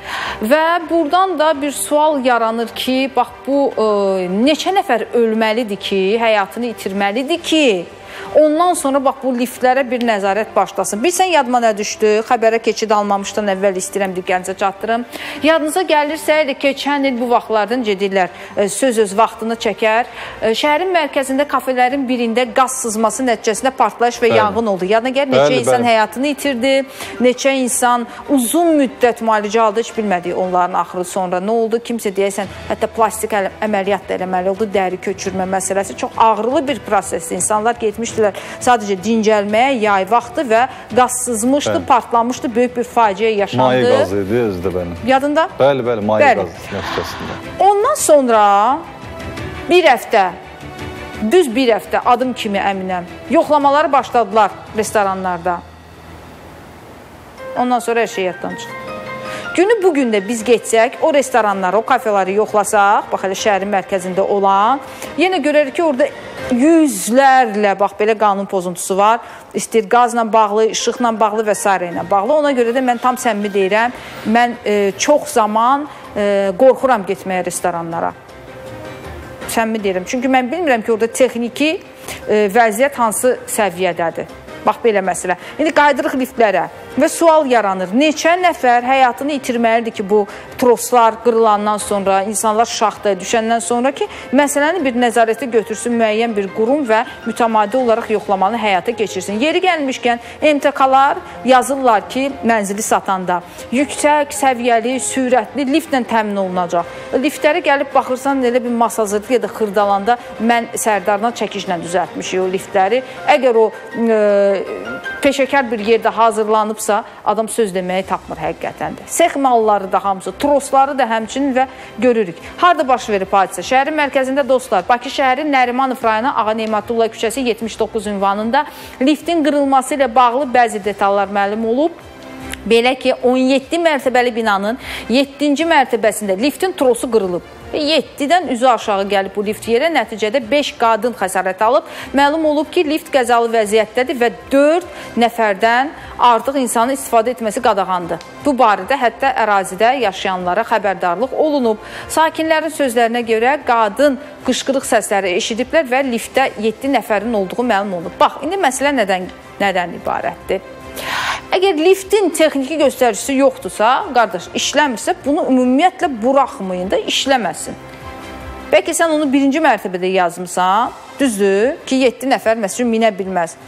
Adam da aşağıdan oxumayıb, üzü yuxarıdan gəlir bura. Nə bilsin? Bəli, adam var oxuya bilmir, adam var ümumiyyətlə görmür və s. və ilə axır. Yəni işləmirsə işləməməlidir ümumiyyətlə. Bağlayın işləməsin də niyə 4 nəfər, 5 Tez nəfər həll edin və xəsarət yaxud da almalıdır? liftin işləməməsi də yəni sizə günlərlə cəmaət 16-cı mərtəbəyə piyada qalxmalı deyib pilləkəndən bu da öz yerində. Amma 4 nəfər, 7 nəfərlik, 10 nəfərlik liftdə yalnız 4 nəfər qalxa bilər deyib istismara vermək lifti Hə, bu nə, nə bəli. deməkdir, hə? Yəni bu həqiqət sən orada yəni o ə, liftin trosunu millimetri ilə hesablamısan, biləsən 4 nəfər olar, 3 Məncə nəfər olmaq. bəhanədir. Bu- Təbii. Bundan əvvəlkidə nə demişdi? Hansı imtihanda yadımdan çıxdı onun rəhbəri. Qayıdıb demişdi ki, orada bir qadının 150 kilo çəkisi vardı, o görə minməyəydi liftə. Qardaş harda yazılıb bu? A, mən 200 kiloyam. 250 kiloyam.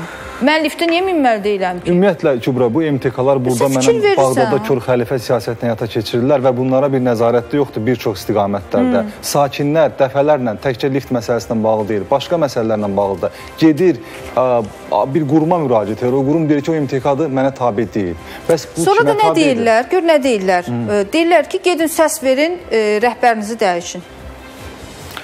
Bunlar məncə hamısı artıq Gedin belə bir deyək. səs verin, təzədən ə, rəhbəri dəyişin, sizin işinizə yarayan olsun. Bilirsən nədir? Mən bir söz deyəcəm burdan. Kimin xoşuna gəlir, gəlsin, gəlmir, gəlməsin.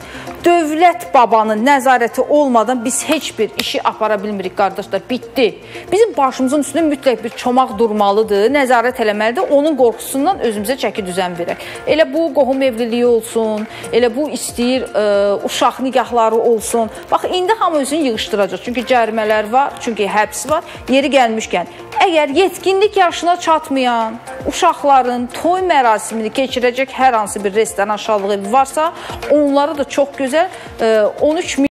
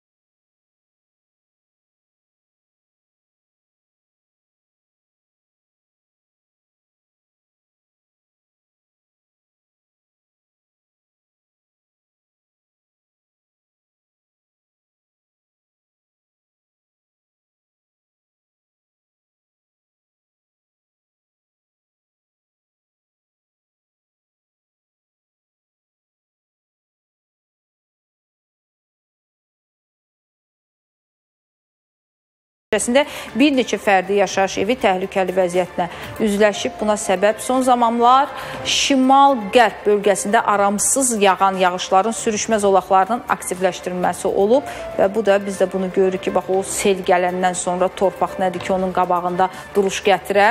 Leysandan əsasən dağətəyi ərazilərdə olan evlər zərər çəkib. Sakinlərin sözlərinə görə torpaq sürüşməsi 1-2 gün davam etsə kənddə yaşamaq mümkün olmayacaq. Bundan başqa dağlardan sel suları ilə gələn gil qatı həyatyanı sahələrdə də bir sıra çətinliklər yaradıb. Məsələ ilə bağlı Qoydan kənd icra nümayəndəsi Vüqar Bəşirov bildirib ki, aidiyyəti qurumları nümayəndələri əraziyə baxış keçiriblər.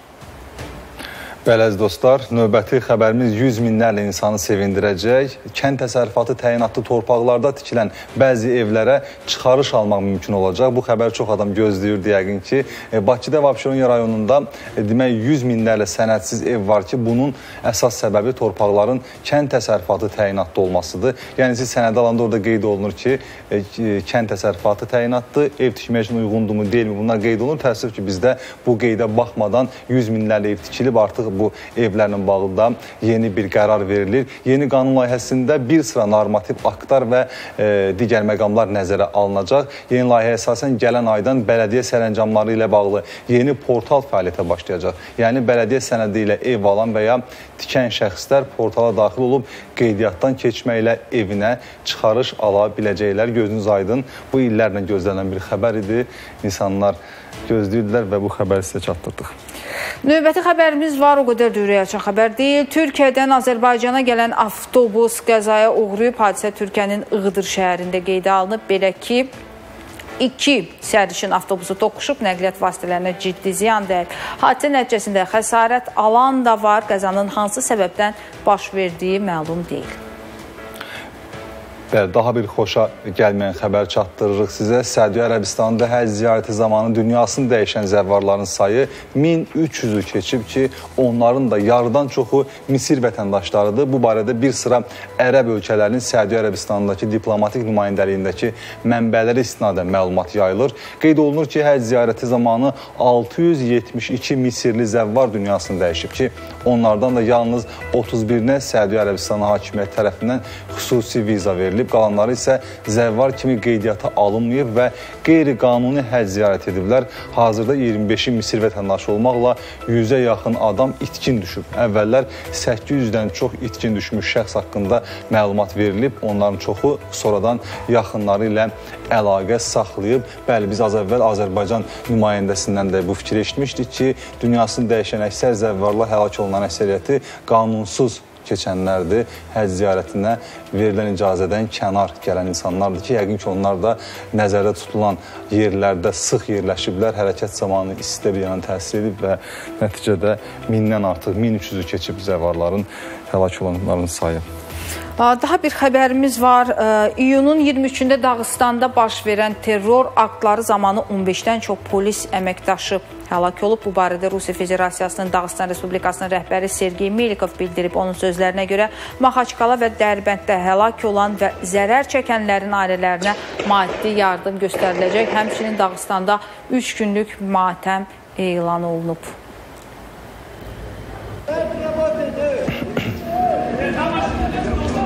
C'est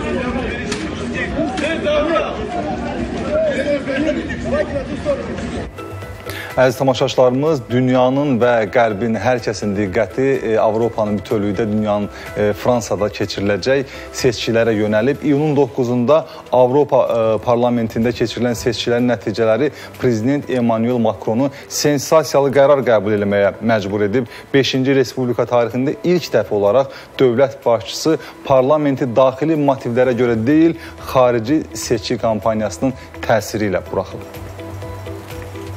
Bax belə daha bir maraqlı xəbər var. Xəbəri işləndə siz də əməlli başlı təəccüblənəcəksiniz. Dünyanın ən qədim maye şərabı İspaniyada Roma ailəsinin məqbərəsində tapılıb. Bax vardılar, öləndə də bax belə ölürlər. İstəyir eramızdan əvvəl olsun, istəyir də sonra olsun. Sevilliyadakı eramızın 1-ci əsrinə aid məqbərədə dəfn qabları aşkarlanıb. Onlardan ikisinin üzərində adlar yazılıb. Hispanea və Sens Senisio.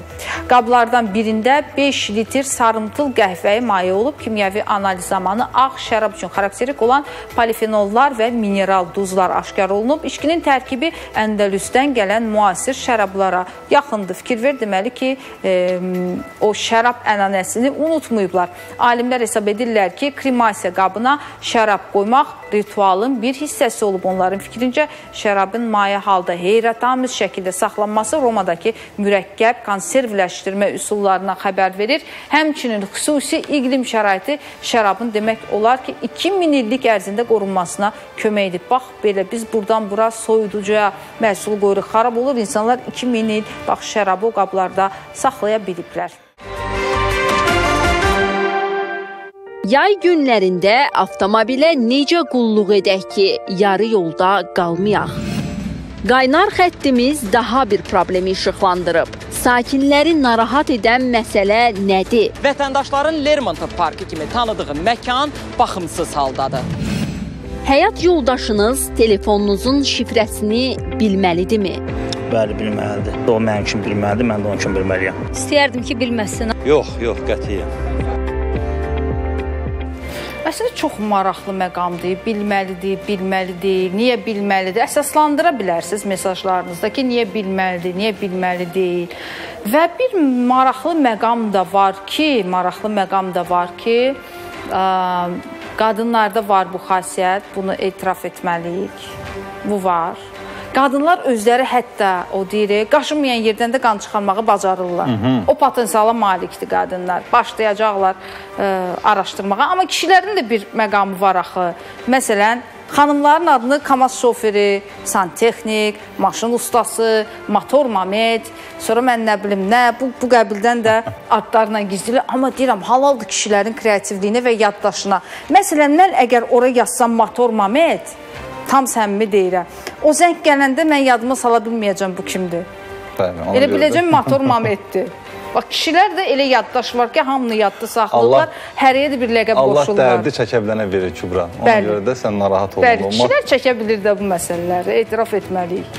Bəli əziz dostlar, təcrübəniz danışsın, görək sizdə vəziyyət necədir? Telefonunuzun kodunu, telefonunuzun şifrəsini həyat yoldaşınız bilirmi? Elə buradan başlayaq və biləndə nəsə problem yaranırmı? Ümumiyyətlə sizi narahat eləyirmi?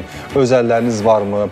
Öz əllərinizi cihazlarda necə qoruyursunuz varsa əgər? Bütün bunlardan danışırıq. Xırda məsələ deyil. Danışsaq işin içindən iş çıxacaq və mən keçirən mesajlarınıza 6421 nömrəsindən tamaşaçımız bizə yazıb ki, e, mən 5 ildə ailəliyəm. Məncə təbii ki, həyat yoldaşı bilməlidir şifrəni. Ailədə gizli saxlı heç nə olmamalıdır. 5 il məncə biraz tezdir əslində. Hələ tez. Xüsusi fikirlər. Hələ tezdir. Bizdə də təcrübə danışır dostlar. Biz də görmüşük, eşitmişik, yaşamışıq. Ona görə 5 il hələ tezdir. Bəli. Belə deyim var. Amma ki yox. Niyə? Yox. Çünki burada bir əmma da var. Hı hı. Bax onu da deyək də, madam ki söhbət açılıb. Məsələn, bir var ki 5 ildən sonra meydana çıxan nəsə qara-qura işlər var ki, kişilər onu gizlədir. Bir də var ki, evlənmədən əvvəl elə o qara-qura işlər olub və evlilik boyu da paralel şəkildə davam edir. O məqamlar da var. Az eşitmişik, eşitmişik. Belə deyim var, gözəlliyi axtarmırlar, gözəl baxmağı bacarmalısan. Bu timsaldan, ailədən, həyatda gözəl heç bir şey yoxdur. Ürəyini verdiyin qadınına nəyi gizlətməlisən ki, və yaxud da əksinə. Ee, mən əminəm ki, əgər bəydisə evlənməyib və yaxud da e, yadı xanımdır mesaj yazan, mən belə gördüm. Amma nəzərə alaq ki, hamı belə min könüldən bir könülə, e, bir könüldən min könülə aşiq olub ailə həyatı qurmur axı. Ətrafınızda nə qədər insan həqiqətən də bax o sevgi üzərində ailə qurub ki, desin ki, yox, mənim könlüm bundan başqa heç kimi görmür və görməyəcək. Kifayət qədər də bizdə qohum evliliyi var, kifayət qədər bizdə bir-birini tanış eləmək, ona bəzən də calaq evliliyi də deyirlər xalq arasında. Yəni belə hallar da çox daxil. Baxırsan ki, o günləri yeri gəlmişkən bir dostumuz yazıb Facebookda Deyir, indiki gənclərə deyir, müşahidə edirəm, evli olan gəncləri gedirlər, deyir, otururlar bir kafedə, bir restoranda, deyir, e, kişi oturub telefonda, qadın da ona baxır, baxır, baxır, nəsə deyir, ona deyir, hmm, yaxud cavab verir, deyir, yox, bilmirəm və bunlar güya harasa gediblər yemək yeməyə.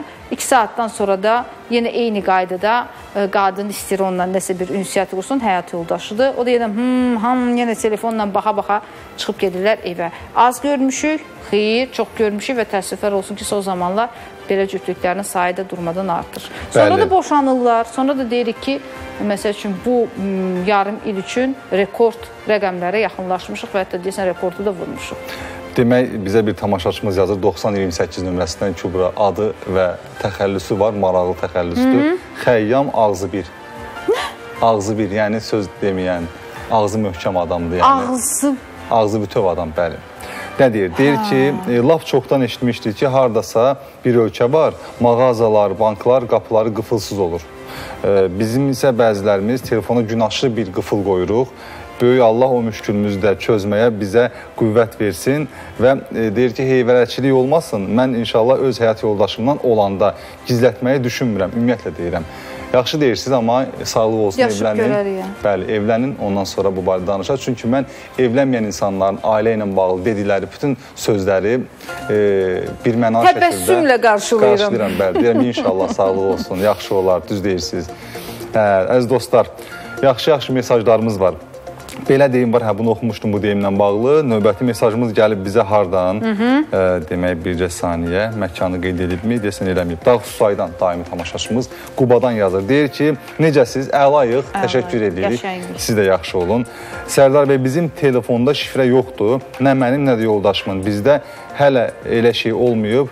Ona görə də şifrəsiz davam edirik. Olmasın belə. Aa, hələ olmaz. elə bir şey olmayıb, yəni nə olmayıb, nəyə nəzərdə Yəni tutur? şifrə olsun kimi bir hal olmayıb. Hal Şifrəsiz davam olmayıb. Bəli, edir. deyirəm, bəlkə elə bir hadisə olmayıb ki, onu gizlətməyə ehtiyac da olmasın, şifrə də olmayıb. Yəni mənə nəsə elə gəldi o cümlədən. Qəbələdən daimi tamaşaçımız Mehman bəy yazır, qısaca yazıb. Deyir ki, necəsiz?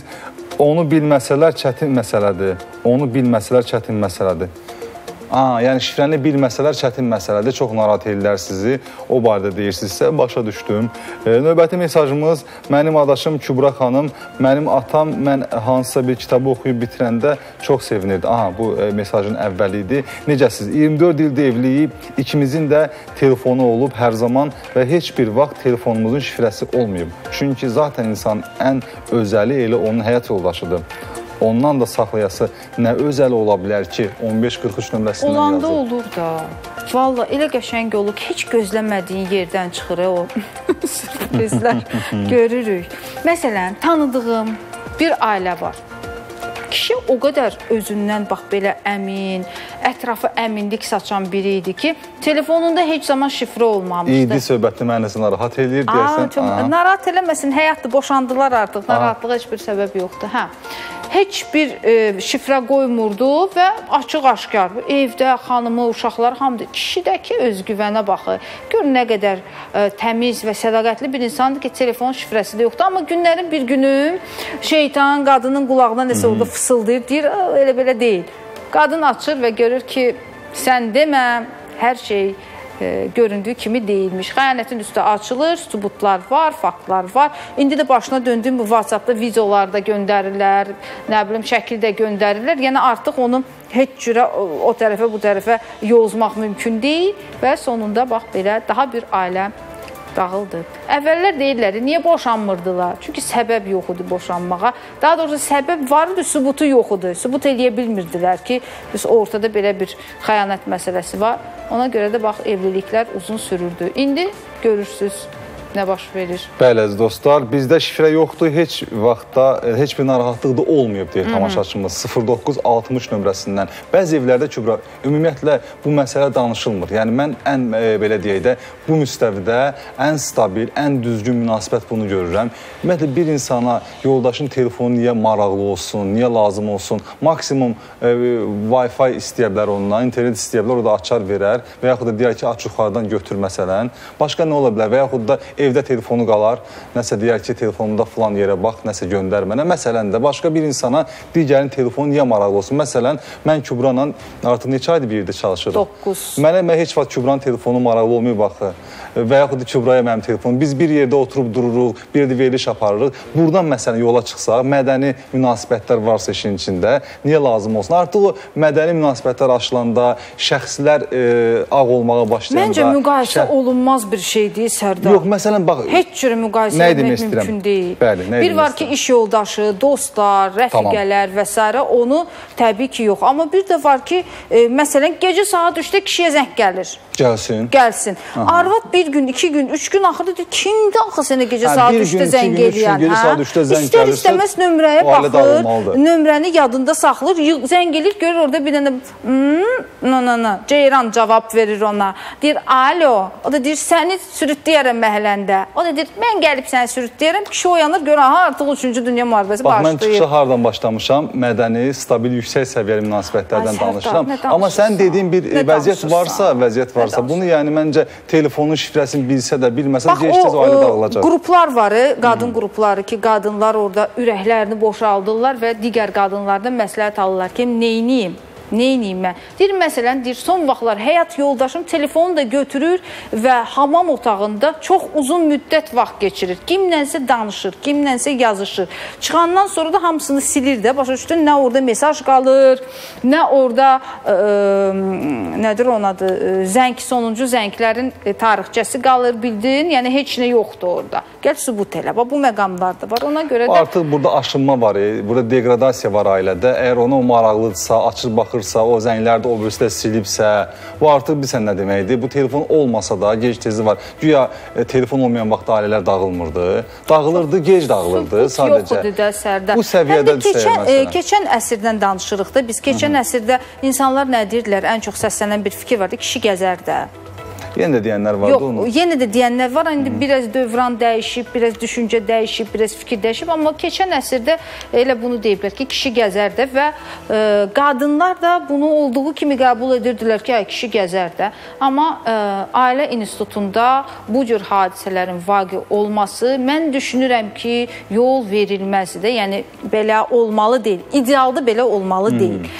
Və indi ərini qoyub deyir, düzü qoyub ərini də danışmaq lazımdır və ya əksinə E, və bəzən psixoloqlar da deyir ki, əgər həyat yoldaşınız sizə xəyanət edirsə, deməli evinizdə nəsə bir problem var ki, xəyanət edir. Çünki e, çox zaman e, insanlar problemlərdən digər bir tərəfə qaçırlar ki, bir nəfəs alsınlar.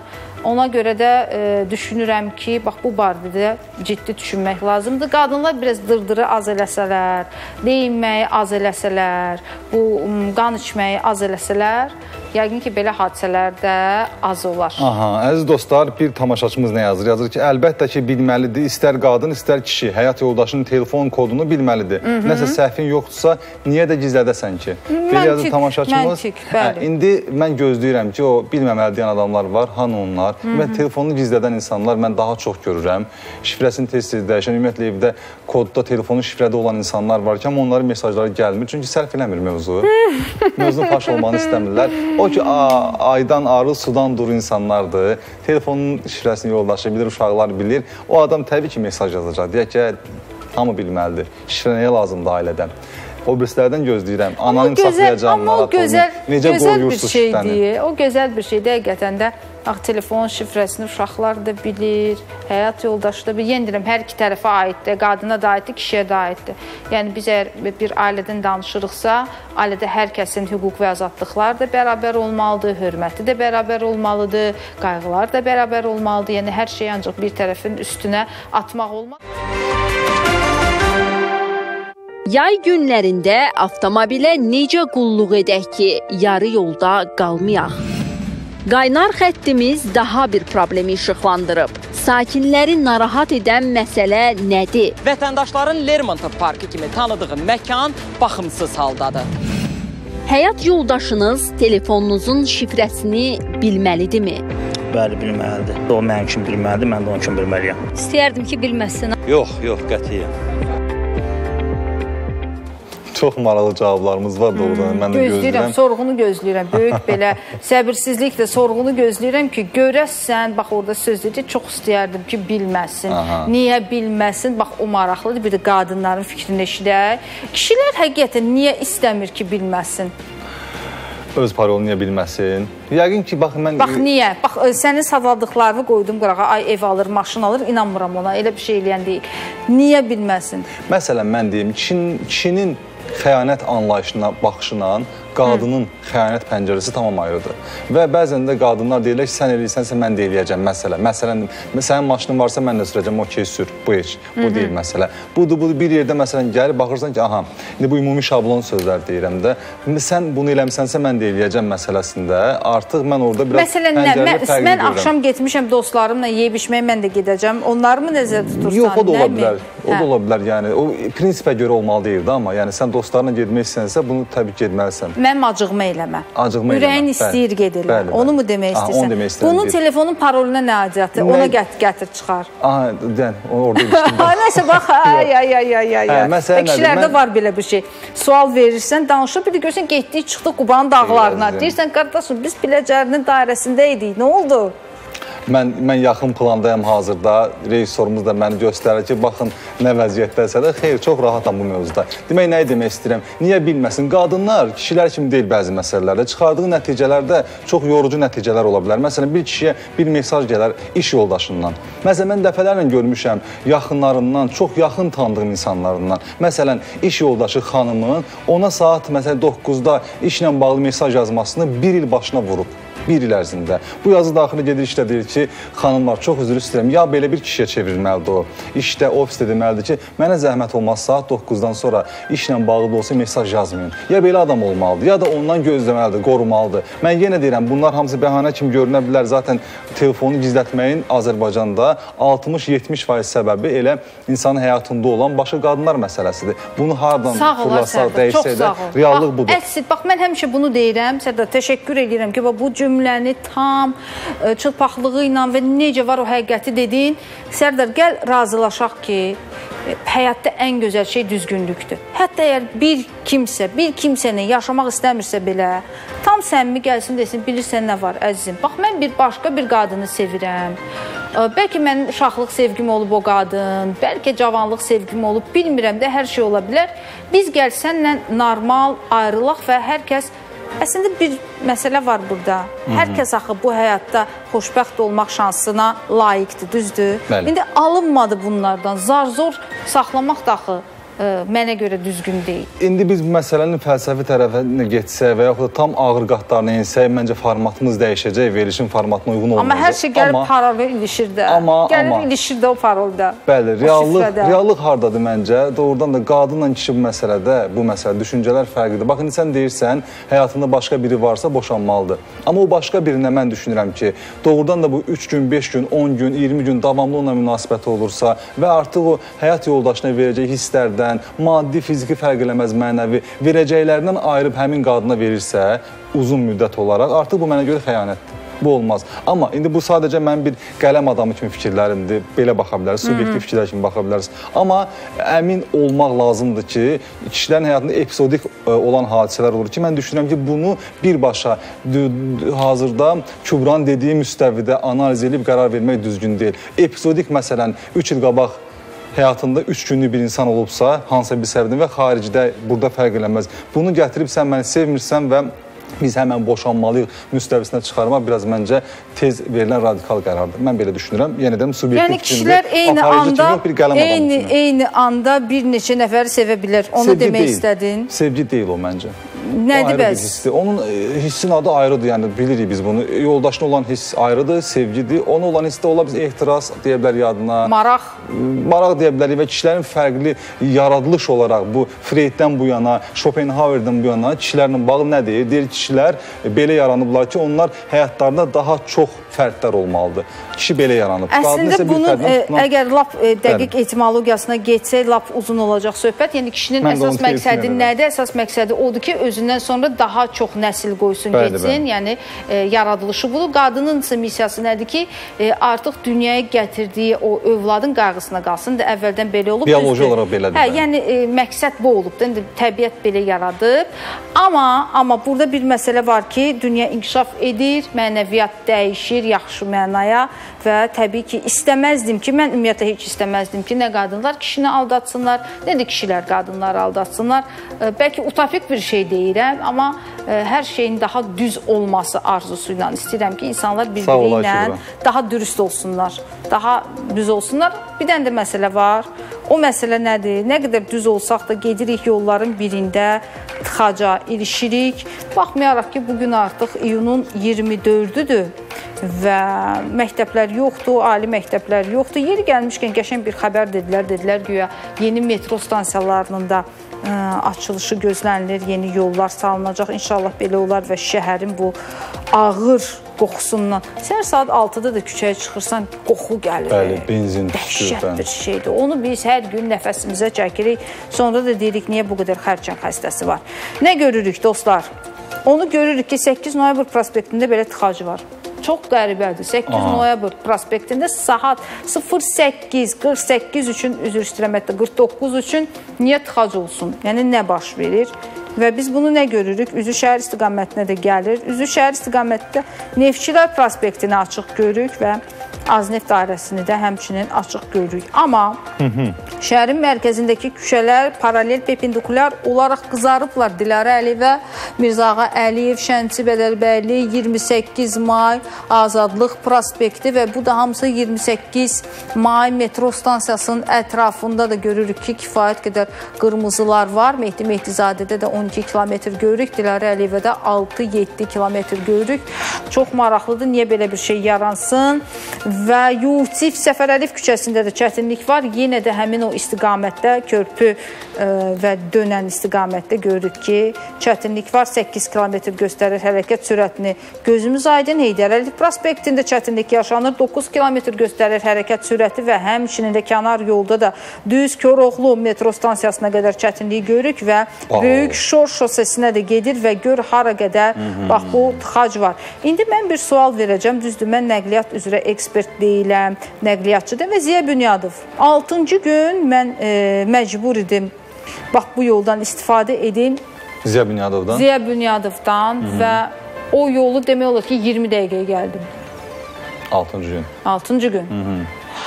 E, və A nöqtədən B nöqtəyə getməyi üçün 41 dəqiqə vaxt itirmişəm. 6-cı gün təsəvvür eləyin. Sadəcə məcburdum, yoxsa belə ümumiyyətlə mən Bax bu prospekt Ziya Bünyadov prospekti yeni açılan vaxtlarda çox belə deyək də gediş-gəliş üçün uyğun prospekt idi. Şəhərin bu başından o başına birbaşa yol gedirdi və təəssüf ki, bu işıqforsuz yolların bir bəlası da var ki, orada tıxac yarananda Allah saxlasın, saatlarla, Hmm. dəqiqələrlə adam tıxacda qalır. Ona görə də mən Sonra Gənclik e, metro stansiyasının ətrafında da nəsə qazırlar, yolun bir Bəli, onu hissəsi. deyəcəkdim. Sənə sözü bitməni gözləyirdim Hə, orada bir hissəsi vaxt 6-cı gün şahidi oldum. Bəli. Hər şey dayanıb, hər şey durub. group Çox ağır idi. Bilirsən bir də nə məsələdir? Bax indi bu taksilərin sayını azaldırlar da get-gedə və ayın birindən şəxsən məni nə gözləyir bilmirəm, çünki ancaq taksidən istifadə edən adamam. Yaxşı, bu a, avtomobillərin sayı azalır və insanlar da deyir ki, istənilən deyir həyətə gir, görəcəksən 5-6 Prius orada yatıb qalıb. Çünki qiymətlər çox aşağı düşdü, sata bilmirlər, sadəcə bax o yer tuturlar orada. Yaxşı, ə, tutalım 3000, 4000 maşın da dövriyyədən çıxdı. Yəni hazırda və yaxud çıxmaq üzrədir. Amma indi tıxac yerindədir də. Bəli. Yəni Yerindədir və- hansı əlacı görmək lazımdır ki, tıxacda indi deyirəm 6-cı gün A nöqtədən B nöqtə 41 Bax sən dəqiqə yol dediyin yolda getmişəm. bazar günü, dünən axşam saatlarında da mən fikir verirəm belə problemlərə. Məsələn, gedirəm tıxacdayam, baxıram ki, bu tıxacın səbəbi nədir? Bəzən Mhm. səbəbsiz tıxaclar da olur, adamın təpəsindən üstü çıxır heç. Amma məsələn, elə dedin Ayna Sultanova e, istiqamətində Qazıblar. ha. Orada qazıntı necədir? Baxın, bir yol bağlanıb, məsəl üçün e, kənar yolla gəlirsən, təzədən Ziya Bünyadov prospektinə çıxmalısan, bağlıdır. Dönməlisən məcburi olaraq e, Gənclik metro stansiyası istiqamətində. Dönürsən, qayıdışı da bağlayıblar, oranı da bağlayıblar və kənar yolda da bir təmizləmə işləri gedir. Böyük bir kran dayanıb, hər yeri bağlıdır. Binaları rəngləyirlər. Eyni anda hər yer bağlıdır. Binaların fasadları düzdür. növ, e, belə deyim, növbəli şəkildə gedin. Əziz dostlar, elə sözcülərdən danışmışkən, bizim e, ümumiyyətlə mənim sevdiyim bir şair var Azərbaycanda, sağ qalan böyük şairlərimizdən biridir. Vaqif Bayatlıoğlu'nun bir gözəl misrası var. Bahar budaqlardan çəkilən kimi çəkildi başından sevda havası. Niyə sevirəm? Adətən baharın budaqlardan çəkilməsini heç kim müşahidə edə bilmir. Biz payızın gəldiyini görürük yarpaqlar saralır deyə bunu hiss edir, amma bahar daxı budaqlardan çəkilir. Və biz də e, buradan hara gəlmək istəyirəm? Sürücülər adətən qış rejiminə keçəndə avtomobillər məcburiyyət qarşısında avtomobil özü istəyir ki, məni qış rejiminə keçir. Mənim sobam işləməlidir, kondisionerim işləməlidir və s. və ilə axır. Amma yaya keçiddə bir dənə də kondisioneri yoxlayırlar. İşləyirsə ya Allah, təkər qalır yerində və digər məsələlər də qalır yerində. Unudurlar maşınları. Biz maşınlara da biraz elə öz ən yaxın dostumuz kimi, vəfalı dostumuz kimi baxmalıyıq. Yay, yay rejiminə keçməyə onların da haqqı var. Həm təkər etibarından, həm daxili etibarından, həm e, digər məqamlar da var ki, bunları detallara bölmədən sözü verək reportaja, görək maşınlara yayda necə qulluq eləməliyik. Yay aylarında sürücülər yüksək temperatur səbəbindən mühərrikin qaynatması, avtomobillərin alışıb yanması halları ilə tez-tez qarşılaşır. Belə hadisələrdən sığortalanmaq üçün yayda da avtomobillərə xüsusi diqqət lazımdır. Sürücülərin yayda yadına düşən ilk olaraq avtomobilin kondisioner məsələsidir. Hansı ki, kondisionerə görə hal-hazırda elə gördüyünüz avtomobil də kondisionerə görə müraciət edibdir. E, yəni ki, avtomobilin salonunun soyudulması üçün e, əsas sürücüləri o darıxdırır. Lakin burada avtomobilin özündə də e, bir çox e, fikir verilən amillər var, hansı ki, e, avtomobilin soyutma sistemi. Yəni yay ayları gəldikdə havaların hərarətinin qalxması mühərrikin qızmasına nəticələnir. Bunun üçün soyutma sistemi yerində olmalıdır. Soyutma sistemində heç bir sızıntı olmamalıdır. Yəni mühərrikdə termostat var, hansı ki, mühərrikin dövriyyəsinə nəzarət edir. Soyuducu ventilyatorlar var. Bu kimi şeylər hamısı yerində olmalıdır ki, avtomobil e, yayın qızma raylarında avtomobildə qızma olmasın.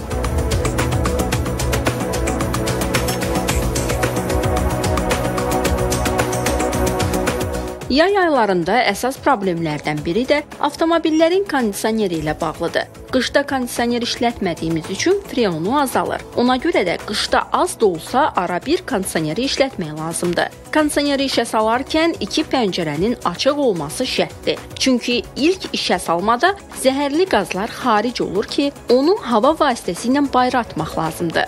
Biz götürsək filtrləri, avtomobilin filtrləri, maşınlar var ki, bu heç illərlə dəyişilmiş. Yəni hansı ki, salon filtri. Bu açırsan görürsən nə vəziyyətdədir. Bu dəyişdi. Bu, ən vacib bizim insan nəfəsinə, yəni ə, insan orqanizminə bu çox ziyanlı bir şeydir. Ona görə də salon filtri ən azı ən azı ildə 2 dəfə dəyişilməlidir. Avtomobillərdə baş verən yanğınların əsas səbəbi isə əlavə avadanlıqların quraşdırılmasıdır. Çox təəssüf ki, 55-60 vat güc üçün nəzərdə tutulmuş naqillərə birdən-birə 100 vatlıq ksenon lampalar yüklənilir. Məsləhət olunur ki, hər yağ dəyişmə müddətində ümumi servis baxışı olsun. Yəni təkcə yağ dəyişməklə kifayətlənməsin. Yağ dəyişmə müddəti də bizim ölkədə 8-10 min aralığında olur yəni 7-8-10 min aralığında olur. Əgər bu vaxtlarda avtomobil ümumi yoxlanılsa, alt işlək hissələri, mühərriki ə, bu kifayət edəcək. Yeri gəlmişkən, bəzi sürücülər maşını işə salan kimi yerindən tərpədir. Bəziləri isə suyun göstəricisinin mavi xətti keçməsini gözləyirlər. Mütəxəssislər deyir ki, yeni işə salınan maşını sürmək üçün yayda 90 saniyə, qışda isə 2-3 dəqiqə gözləmək faydalıdır. Nərmin Səfərli, Teymur Hüseynov. Ümumiyyətlə avtomobillə qulluq eləmək lazımdır və vacibdir. Təəssüflər olsun ki, bəzən məsuliyyətsiz yanaşırıq bu məqamlara, sonra da avtomobil qalır böyrü üstə. Dostlar, çox gözəl bir xəbərimiz var. Elə mövzu ilə bağlıdır. Dünyanın ən varlı ən yaraşıqlı deməzdim, amma yaraşıqlı deyə bilərik, amma ən varlı deyə bilərik. Yerlə göylərləşən deyə bilərik. Bəli, ən e, kreativ düşüncə tərzinə malik olan milyarderlərdən biri sahibkar Elon Muskdan xəbərimiz var. Belə ki, Elon Muskın keçmiş həyat yoldaşı Britaniyalı aktrisa Tallulah Riley aktyor və Taxtların Oyunu serialının ulduzu Thomas Brody Sangsterlə evlənib. 38 yaşlı Riley və 34 yaşlı Brody 2021-ci ildə Disney Plus üçün Sex Pistols punk qrupu haqqında dramı çəkərkən tanış olublar. Cütlük ötən ilin iyulunda nişanlanıb, daha sonra Musk öz yəni şəxsi öz başqa bir şeydir. Bax bu mənimdir və öz X sosial şəbəkəsində onları təbrik edibsən. İlindakı jestə bax və deyib ki, təbrik edirəm, xoşbəxt olun, uzun yaşın və s. və ilaxır. Amma onu da mütləq şəkildə qeyd etməliyik ki, Talula Riley 2 dəfə, düz 2 dəfə Elon Muskla evlənib. Onlar ilk dəfə 2010-cu ildə evləniblər. 2 ildən sonra boşanıblar. Sonra təzədən 2025-ci ildə ailə həyatı qurublar və sonra deyiblər, yox, deyəsən artıq tamamilə və geri dönmədən boşanmalıyıq. Musk, Musk bəlkə də üçüncüdən yəni, qorxub onu görə təbrik edib ki, qoyulur. Deyəsən də. Amma Elondan mən hər şey gözləyirəm. Bir də gördüm bunu boşaltdırdı, təzədən ondan evləndi. Adamın yəni fikirləri o qədər o belə bəzən kreativdən də kreativ və absurd ola bilər ki, edə bilər. Bunu da mütləq qeyd etməli ki, onların birgə uşaqları yoxdur və maraqlıdır ki, bu qadın görəsən boşananda Elon Muskdan nə qədər pul qopara bilib. Bax o da maraqlıdır. Yoxsa heç nəsiz elə quru quru çıxıb, yəni heç nə ilə çıxıb o da ola Məsələ bilər. budur ki, biz e, Maskın heç olmasa o fantastik kainat üçün onun ideyalarından bir nəticə çıxara bilməsəydik, heç olmasa bu addımından nəticə çıxarmalıyıq. Azərbaycana boşana bilməmək də böyük bir bəladır. Boşanandan sonra rəsmi boşanandan sonra da insanlar keçmiş həyat yoldaşlarından mənəvi baxımdan əl çəkmirlər. Onu yenə də özünün həyat İzləyirlər, yoldaşı kimi, hə. indi onların təbir desək, bir qeyrəti kimi, bir namusu kimi hiss edirlər. Tamam, qeyrət, namus kimi hiss edə bir zamanlar sənin həyat yoldaşın olub. O hörmət müstəvisinə həmişə nə vaxtsa rastlaşsan belə, nə vaxt köməyə ehtiyacı olsa, bir dost kimi yanında ol bu öz yerdə. Amma niyə qeyrəti sən onun həyatına burun soxmaqla, boşanandan sonra deyirsən ki, məsələn sən evlənəndə evlənə bilməzsən, nə bilim sənin şəxsi Mən fantastik hətta ə, vəkil Maska baxar. dostlarımızdan eşitmişəm, hətta bəzi kişilər qadınların qarşısına şərt qoyurlar ki, əgər sən ərə getsən, mən uşaqların alimentini ödəməyəcəm. Hələ də başa düşmürlər ki, aliment qadına verilmir, uşaqlara verilir. Bax belə vəkillər danışırlar. Ümumiyyətlə vəkillərdə elə nümunələr var ki, adam onları eşitdikcə, onlarla tanış olduqca həqiqətən də düşünürsən ki, biz necə olur bu cəmiyyətdə daha doğrusu eyni cəmiyyətdə bu cür düşünən insanlar da bir yerdə yaşayır. Yalançının şahidi yanında olur belə bir misal var. Düzdür, məntiqini bilmirəm onun, amma tam da zamanlı bir mesaj almışam elə bax az əvvəl dediyimiz mövzuna bağlıdır. E, sabahınız xeyir. Hər vaxtınız xeyir. e, əlbəttə bilməlidir. Bu kişinin haqqıdır. Qadın Kişinin yazır. haqqıdır. Zamanə çox pis gəlib. Qadın kişinin qeyrəti və namusudur. Buna görə də kişinin bilmək haqqı var. Əziz dostlar, davam edəcək mesajlarınızı yazın və xeyli mesajımız var, onları oxuyacağam. Hazırda Azərbaycanda saat 9-dur.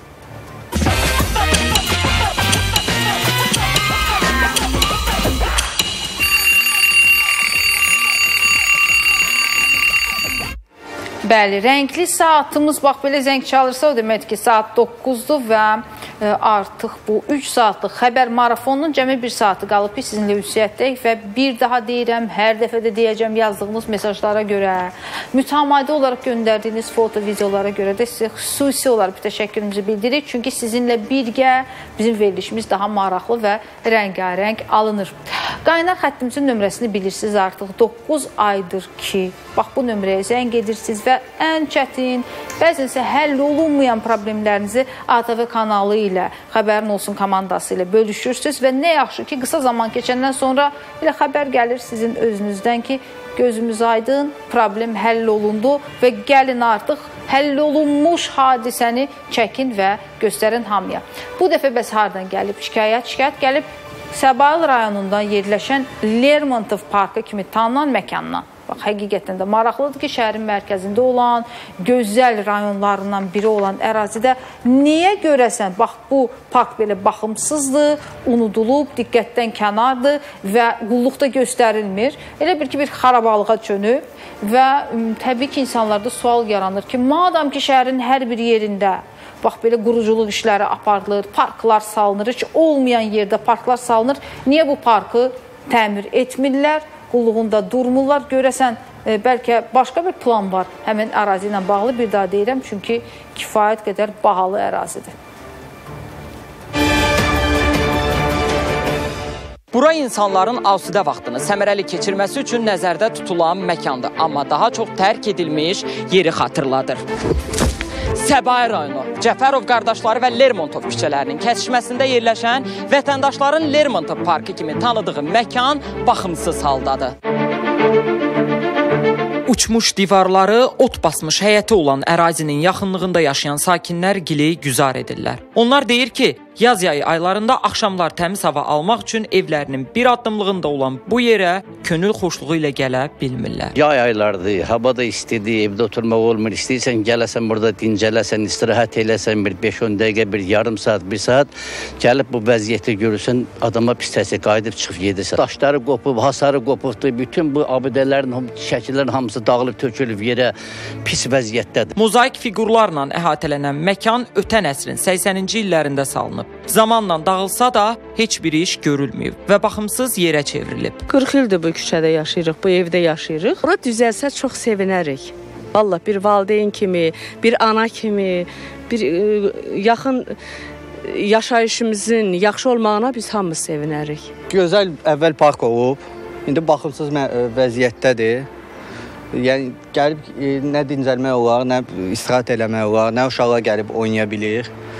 Gəlsələr bura əl gəzdəsələr, ə, cəmaət yəni qonşular gəlib istirahət edə bilər. Məsələ ilə bağlı Səbail rayon icra hakimiyyətindən bildirildi ki, rayonun Lermontov və Cəfərov qardaşları küçələrinin kəsişməsində yerləşən uşaq meydançasında abadlıq və yenidən qurma işlərinin planlaşdırılması ilə bağlı aidiyyatı qurum və təşkilat rəhbərlərinə müvafiq tapşırıqlar verilib. Layihə tamamlanmaq üzrədir. Yaxın vaxtlarda təmir işlərinin aparılması nəzərdə tutulub. Rövşən Tahir, Teymur Hüseynov. Bilirsən hansı ərazidir bu? Hı -hı. İçəri şəhər metrosundan bir 2-3 tin yuxarıda mərkəzdir. Aha, mən Çox mərkəzdir, hə, çox, Çox mərkəzdir və ə, həqiqətən də ilk baxışdan cəngəlliyi xatırlatdı mənə. Çünki mənim uşaqlığım o ərazidə keçib deyə, o ora əraziləri çox yaxşı tanıyıram. Elə orada məktəbə getmişəm, orada doğulmuşam və s. qılaq. Ona görə də o əraziləri çox gözəl tanıyıram. Amma və- açıqlama pozitiv idi. Tezliklə artıq var. Mən də çox bəli. inanıram çünki e, istər-istəməz COP29 gəlir qarşıda və əgər biz e, ümumiyyətlə çalışırıq ki, ətrafımızı da yaşıllaşdıraq, enerjimizi də yaşıllaşdıraq, həyatımızı da yaşıllaşdıraq. Yer gəlmişkən mən də bu gün yaşıl geyinmişəm. Hı hı. Yəni çox vacib bir şeydir. Ona görə də yaşıllığımız çox olmalıdır, amma cəngəllik səviyyəsində deyil.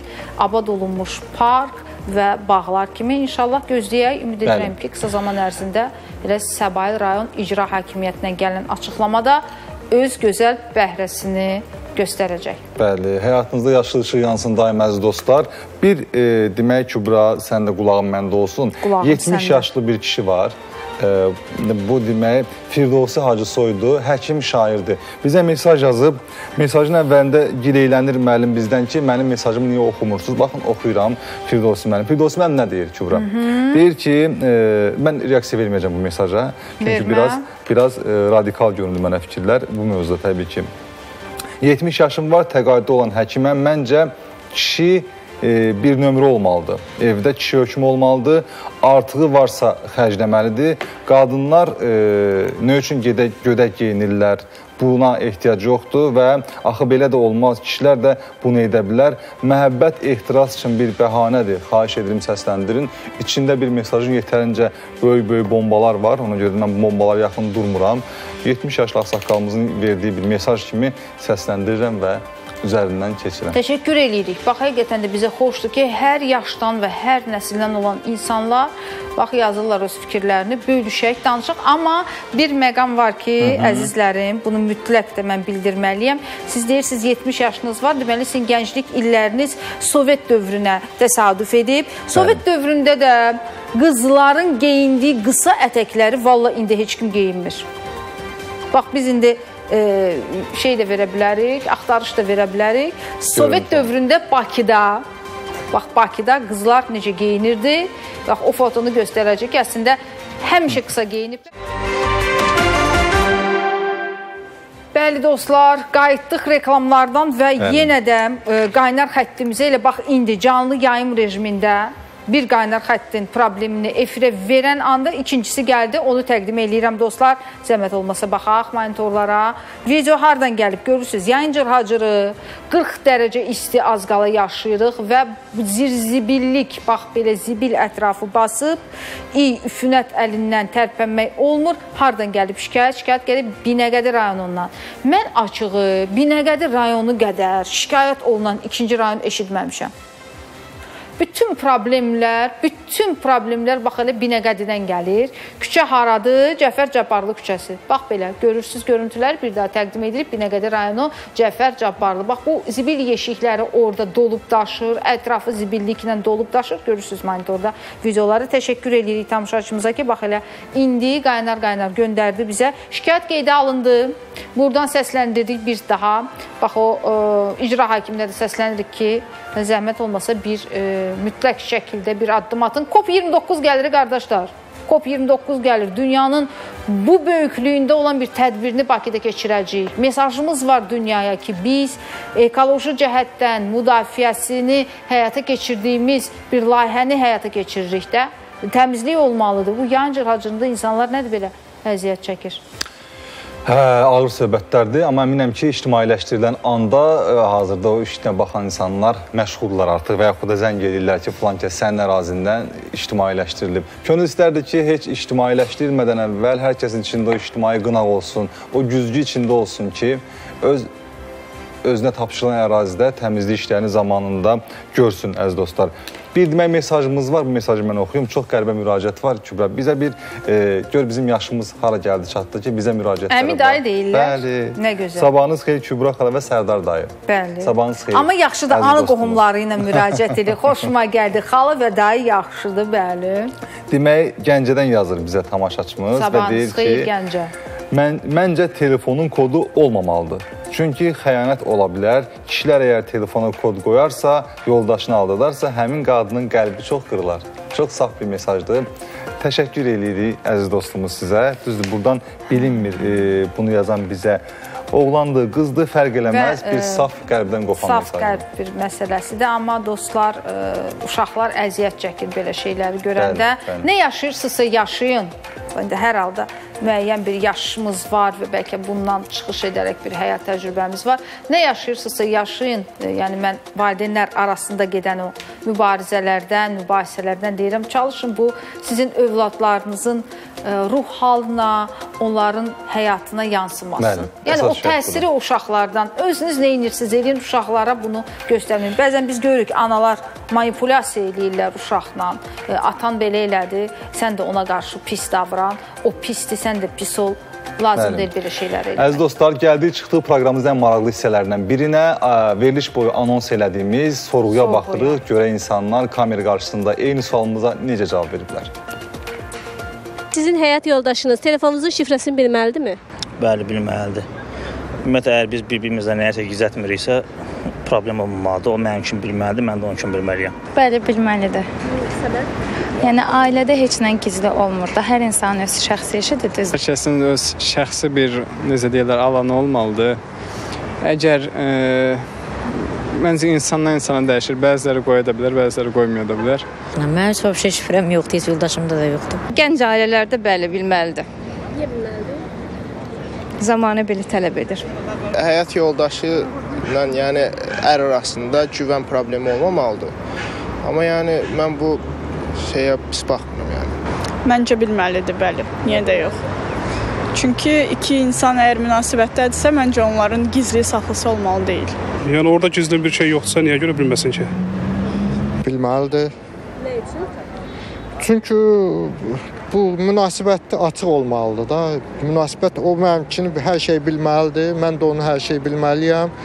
Mən desəm ki, saat telefon lazımdır, o ola götürməyəcək telefon.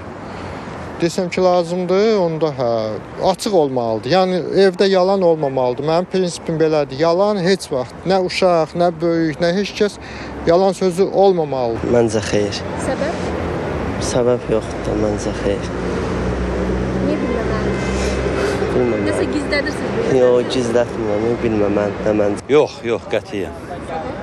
Səbəb odur ki, kişi kişidir də. Kişinin min dənə işi gücü ola bilər, söhbətləri ola bilər. Həyat yoldaşım olsaydı istəyərdim ki, bilməsin, amma həyat yoldaşım yoxdur. Mənim də özümə görə bir sirlərim var, yəni müəyyən mənada. Əlbəttə bilməlidir. Niyə də bilməz? Nəyə görə? Çünki həyat yoldaşları arasında heç bir sir olmamalıdır. Saxlanılacaq bir şey olmamalıdır. Çox maraqlı fikirlərdir, bir-birindən maraqlı, bir-birindən qəşəng, rəngarəng və mən isə nəyə sevinirəm? Ona sevinirəm ki, insanlar kamera qarşısında öz fikirlərini artıq deyə bilirlər, deyə biləndən sonra da müdafiə edə bilirlər. Səhvdir, düzdür, bunu müzakirə etmirik və hər kəsin fikrinə də böyük hörmət və sayğı ilə yanaşırıq. Bəli, əziz dostlar, hazırda proqramımızın çox maraqlı bir hissəsinə gəlib çatmışıq. Canlı efirdə qonaqlarımız var və qonaqları mən sizə təqdim eləyəndə əminəm ki, bir çoxlarınız wow biləcəksiniz. Söhbət nədən gedir? Qonaqlarımız kickboxing üzrə milli komandanın baş məşqçisi Eşən Abdurrəhimov və dünya Avropa çempionu İslam həmrəyliyi və dünya oyunlarının qalibi Bəhram Rəcəbzadədir. Xoş gəlmisiniz, xoş görürük sizi. Sabahınız xeyir olsun. Mən belə başa düşürəm ki, idmançılara bu sualı verə bilmərik. Yəni telefonda baxmaq olar, yoxsa olmaz. Amma sualım belə olacaq. Məşqçinin xəbəri olurmu onun tələbəsinə? Kimlər yazır, kimlər zəng eləyir, onu nəzarətdə saxlayırmı, yoxsa yox? Təlim məşq toplantıları vaxtı adətən e, idmançılardan biz axşam 9-dan sonra telefonları alırıq. Nə gözəl, nə qəşəng, nə maraqlı, əla, əla. Yat, yatmaq qaydasına əməl eləsinlər. Hı -hı. Və milli komanda yarışanda bu qaydalara hamı əməl eləyir və çalışırıq ki, təlim məşq toplantıları vaxtı digər fikirlərdən daha çox fikirlər Məşqə. və yarışa cəlb eləyə bilər. Ümumiyyətlə mən həmişə çox böyük bir sevgi və eşq hissi ilə yanaşmışam, çünki mən dəfələrlə görmüşəm ki, məşqçilər öz tələbələrini bir övlad qədər sevirlər, qayğılarına qalırlar və mən hər zaman deyirəm, əgər bir idmançı böyük nailiyyət əldə edirsə, onun məşqçisinin burada təbii ki, sonsuz bir əziyyəti var. Bəli. Bəhram bəy sizi fəxrlə izləyirik və hazırda minlərlə, milyonlarla insan var ki, hazırda sizi ekranda görəndə çox sevinirlər və istədim başlayaq biz Dünya Peşəkar Kickboxing Təşkilatı var ki, həmin yerdə çox insanların arzusudur, çox ölkələrin arzusudur, ora düşə bilmirlər, orada uğur qazana bilmirlər. Sizin orada möhtəşəm uğurlarınız var. Elə onlarla başlayaq. Buyurun. Bir, birinci növbədə sabahınız xeyir, salamlayıram sizə. Çox sağ olun. E, Deməli, döyüşdüyüm təşkilat Glory Kickboxing-dir. Dünyanın birinci reytinqdə olan təşkilatıdır ki, Azərbaycandan yeganə idmançıyam orada -hı. hal-hazırda. Çox qürur vericidir, çox e, böyük bir e, fəxridir. Yəni orada döyüşmək və bayramı qaldırmaq, himni səsləndirmək mənim üçün böyük bir e, Fəxarət. fəxarətdir. Heç arzulardınız günlərin bir günü bax bu ə, ə, Vallahi, səviyyəyə gəlib çıxacaqsınız, yeganə idmançı olacaqsınız, Azərbaycanı təmsil edən. Yəni uşaq vaxtından dedim bu gün mən çempion olacağam. Hı -hı. Belə idmanla. Məqsəddir. O da gəldi, çatdı. Şükürlər olsun Allaha ki, gözəl nailiyyətlər qazandıq. Hı -hı, təbrik edirik sizi. Təbrik edib fəxr duyuruq, Uğurlarınızın təbrik. davamlı olmasını istəyirik, arzulayırıq. Elşən müəllim, e, vəziyyət necədir bu sahədə və tələbələr özünüzü ağ eləyir, gözəldir bu. Ümumiyyətlə e, baş məşqçi olmaq da böyük məsuliyyət tələb edir. E, planlar nədir? Nə gözləyirsiniz? Necə olacaq növbəti e, aylarda? Kim dəstək olur sizə bax bu ağır işdə? Çünki heç asan məsələ deyil. Dəstək federasiya rəhbərliyidir. Federasiyanın e, fəxri prezidenti cənab Adil Əliyev. Federasiya prezidenti Orxan Əliyev tərəfindən e, böyük dəstək olan bir də Gənclər İdman Nazirinə xüsusi minnətdarımızı bildiririk. Yəni dövlət tam gücü ilə dəstək göstərir. Bəli. Yəni idmançıların mükafatlandırılması, hər il bir idmançımızın evlə mükafatlandırılması cənab prezident tərəfindən e, yarışları udandan sonra dövlət mükafatlarının verilməsi, dünya Avropa çempionatından sonra bunlar hamısı idmançılara yeni stimullar verirlər qələbələr üçün. Mənə bilirsiniz nə maraqlıdır? Siz tez-tez səfərlərə gedirsiniz. Təbii ki, hər ikiniz gedirsiniz. Bax, xarici ölkələrdə o idmançılar necə baxırlar sizə? Nə hiss eləyirsiniz? Bax, mən bilirəm ki, idmançıların bir xüsusiyyəti də var ki, rəqiblərini dəriləri ilə hiss eləyirlər. Nə deyirlər, nə danışırlar, nə hiss eləyirsiniz? Və təbii ki, sonda Azərbaycanın bayrağı qalxır, himnimiz səslənir, amma ora qədər çox belə keşməkeşli bir yol var. Nə baş verir bax o yollarda? Yəni əziyyətlidir həm məşqçi olaraq, idmançı olaraq, idmançılar bayram məsələn bu illəri 13 peşəkar döyüş döyüşüb. 13 peşəkar döyüşü, bunun zədələri, bayramın bir zədəsi var, bilmirəm orada çək, çəkilişdə verə biləcək. Bayramın ayağının altı cırılır qan daxil və bayram növbət döyüşə çıxır, növbət döyüşünü yenə qələbə ilə qazanır və orada deyir mən çempionam. Yəni bu hissləri yaşamaq üçün ancaq gərək ringi görəsən. Hı -hı. Bəhram bəy, e, qarşıda nə hansı yarışlar gəlir, hansı döyüşlər gəlir, hansı rəqabət var? İnşallah qarşıda e, kəmər uğrunda döyüşəcəyəm, qismət olsa. İnşallah. Və o kəməri gözəl Azərbaycanımıza gət gətirmək bizə nəsib oldu inşallah. Ondan sonra da kəməri qorumaya ot- oturacağıq. Bəli dostlar, bir daha sabahınız xeyir olsun. Bugün bizim studiyamızda dünyanı lərzəyə gətirən idmançımızdır və onun məşqçisidir. Hər zaman deyirəm ki, bax sizin kimi fəxr edirik oğlanlardan. Çünki hər zaman gedirsiniz, dünyanın ən ağır döyüşlərində Azərbaycan bayrağını yüksəldirsiniz və Azərbaycanın himni səslənir. Ən ağır döyüşünüz hansı olub və yaxud ən çətin rəqibiniz kim olub indiyə qədər? Özdə bu il deyirsiniz artıq 13 Ümumiyyətlə il ərzində 13 bəli. 13 ayda 11 döyüş. 13 ayda 11 döyüş artıq bax başa Yəni vurmusunuz. e, idmançıların 4 ildə, 5 ildə döyüşdüyünü mən 1 ildə döyüşmüşəm. Maşallah olsun. Bu mənim üçün çox çətin idi. çətin rəqib desəz valla ümumiyyətlə hamısı Bax çətindir. bu da pis deyil. ha. Baxıram məsələn sizdən elə bir qarışda hündürdür, bir də həm mən, də yekəpərdir. e, iki çəkidə vuruşuram. Hansı? Dünyada yəni bu redki hallar da olur. Nadirən. Aha. Mən e, həm ağır çəkdə döyüşürəm, həm 95 kiloda döyüşürəm və şükürlər olsun ki, həm ağır çəkdə, həm 95 kiloda ayrı-ayrı ikinci yerdə reytinq olaraq dünya sıralamasında ikinci yerdəyəm. E, Məncə belə bir e, nəticə yoxdur dünyada. yoxdur hal-hazırda heç Bax bu o, neçə kilodur qarşıdakı? Bu o yaxlaşıq nəticə 125 kilo zad olardı. Hmm. Mən də burada 97 kiloydum. hiss olunur, yəni çəkidə fərq kifayət qədər hiss olunur. Yəni həqiqətən də deməli kişinin vurmağa ürəyi Və lazımdır. burada düzdür? döyüşəndə bu 4-də turnuva idi. Bundan qabaqca biri ilə döyüşmüşdüm. Mhm. Və o döyüşdə mənim ayağımın altı zədələnmişdi Mhm. və bu döyüşdə də o zədəli ayaqla çıxdım döyüşdüm ki, o da kimsə çıxan məzdi, mən çıxdım şükür Allaha. O da çox böyük bir nailiyyət idi bizim üçün. Həqiqətən də, yəni eşq olsun idmançılarımıza, eşq olsun sizə. Və, və e, Sərdarın bir sualı vardı. Mənim gözüm elə qalıb ringdə ki, o rəqibindən qorxmayasan və e, dayanmadan. Bəli, Bəhram bəy, Bəhram Qorxmuruq, baxın bu səsi həmişə eşidirik ringlərdən o belə boğultulu səslə eşidirik təqdimatlar və bu gün studiyamızdasınız və e, Azərbaycanda idmana xüsusi diqqət var illərlə belədir. Sizin timsalınızda necədir? Dəstək necə hiss edirsiniz? Valla e, Azərbaycanda bütün idmançılara dəstək var. Bütün idmançılara, yəni həqiqi idmançılarımıza dəstək var. Həqiqi dünya çempionlarımıza dəstək var. Yoxsa gedib bu qıraqda döyüşənlərə yox. Gəlirlər sonra deyir yenə hansısa turnirdə qalib olmuşam. Turnirin amma adını yazırsan axtarış sisteminə Mən heç yerdə keçən çıxmır. verilişimdə dedim, məsələn, gedi İranda vuruşu, deyir Avropa çempionatında çempion olmuşam. İran Avropada deyil hələ Avropa çempionu olsan. Beləncə məsələn bizdə idmançılar da var. Amma adlarını çəkmirik də. hə? Adlarını çəkmirik təbii Çox ki. heyf. Amma əslində adlarını çəkməliyik ki, bilələr də bir Bəli, də bir işlər görmüyor, millət tanıya bilələrdir. Amma bizim kickboksda ən böyük e, amatör olaraq böyük təşkilatımız var, Vako. Məsələn, Vakoda bizim həqiqətən böyük çempionlarımız vardı və bizim Azərbaycan Federasiyası da Vakoya nəzarət edir. Vako kickboksingə ki, mən də orada şükür Allaha e, 2017-ci ildə dünya çempionu oldum Budapeştdə və e, çempion olduğumla bağlı cənab prezidentlə görüşdüm və e, cənab prezident də mənə mənzillə mükafatlandırdı.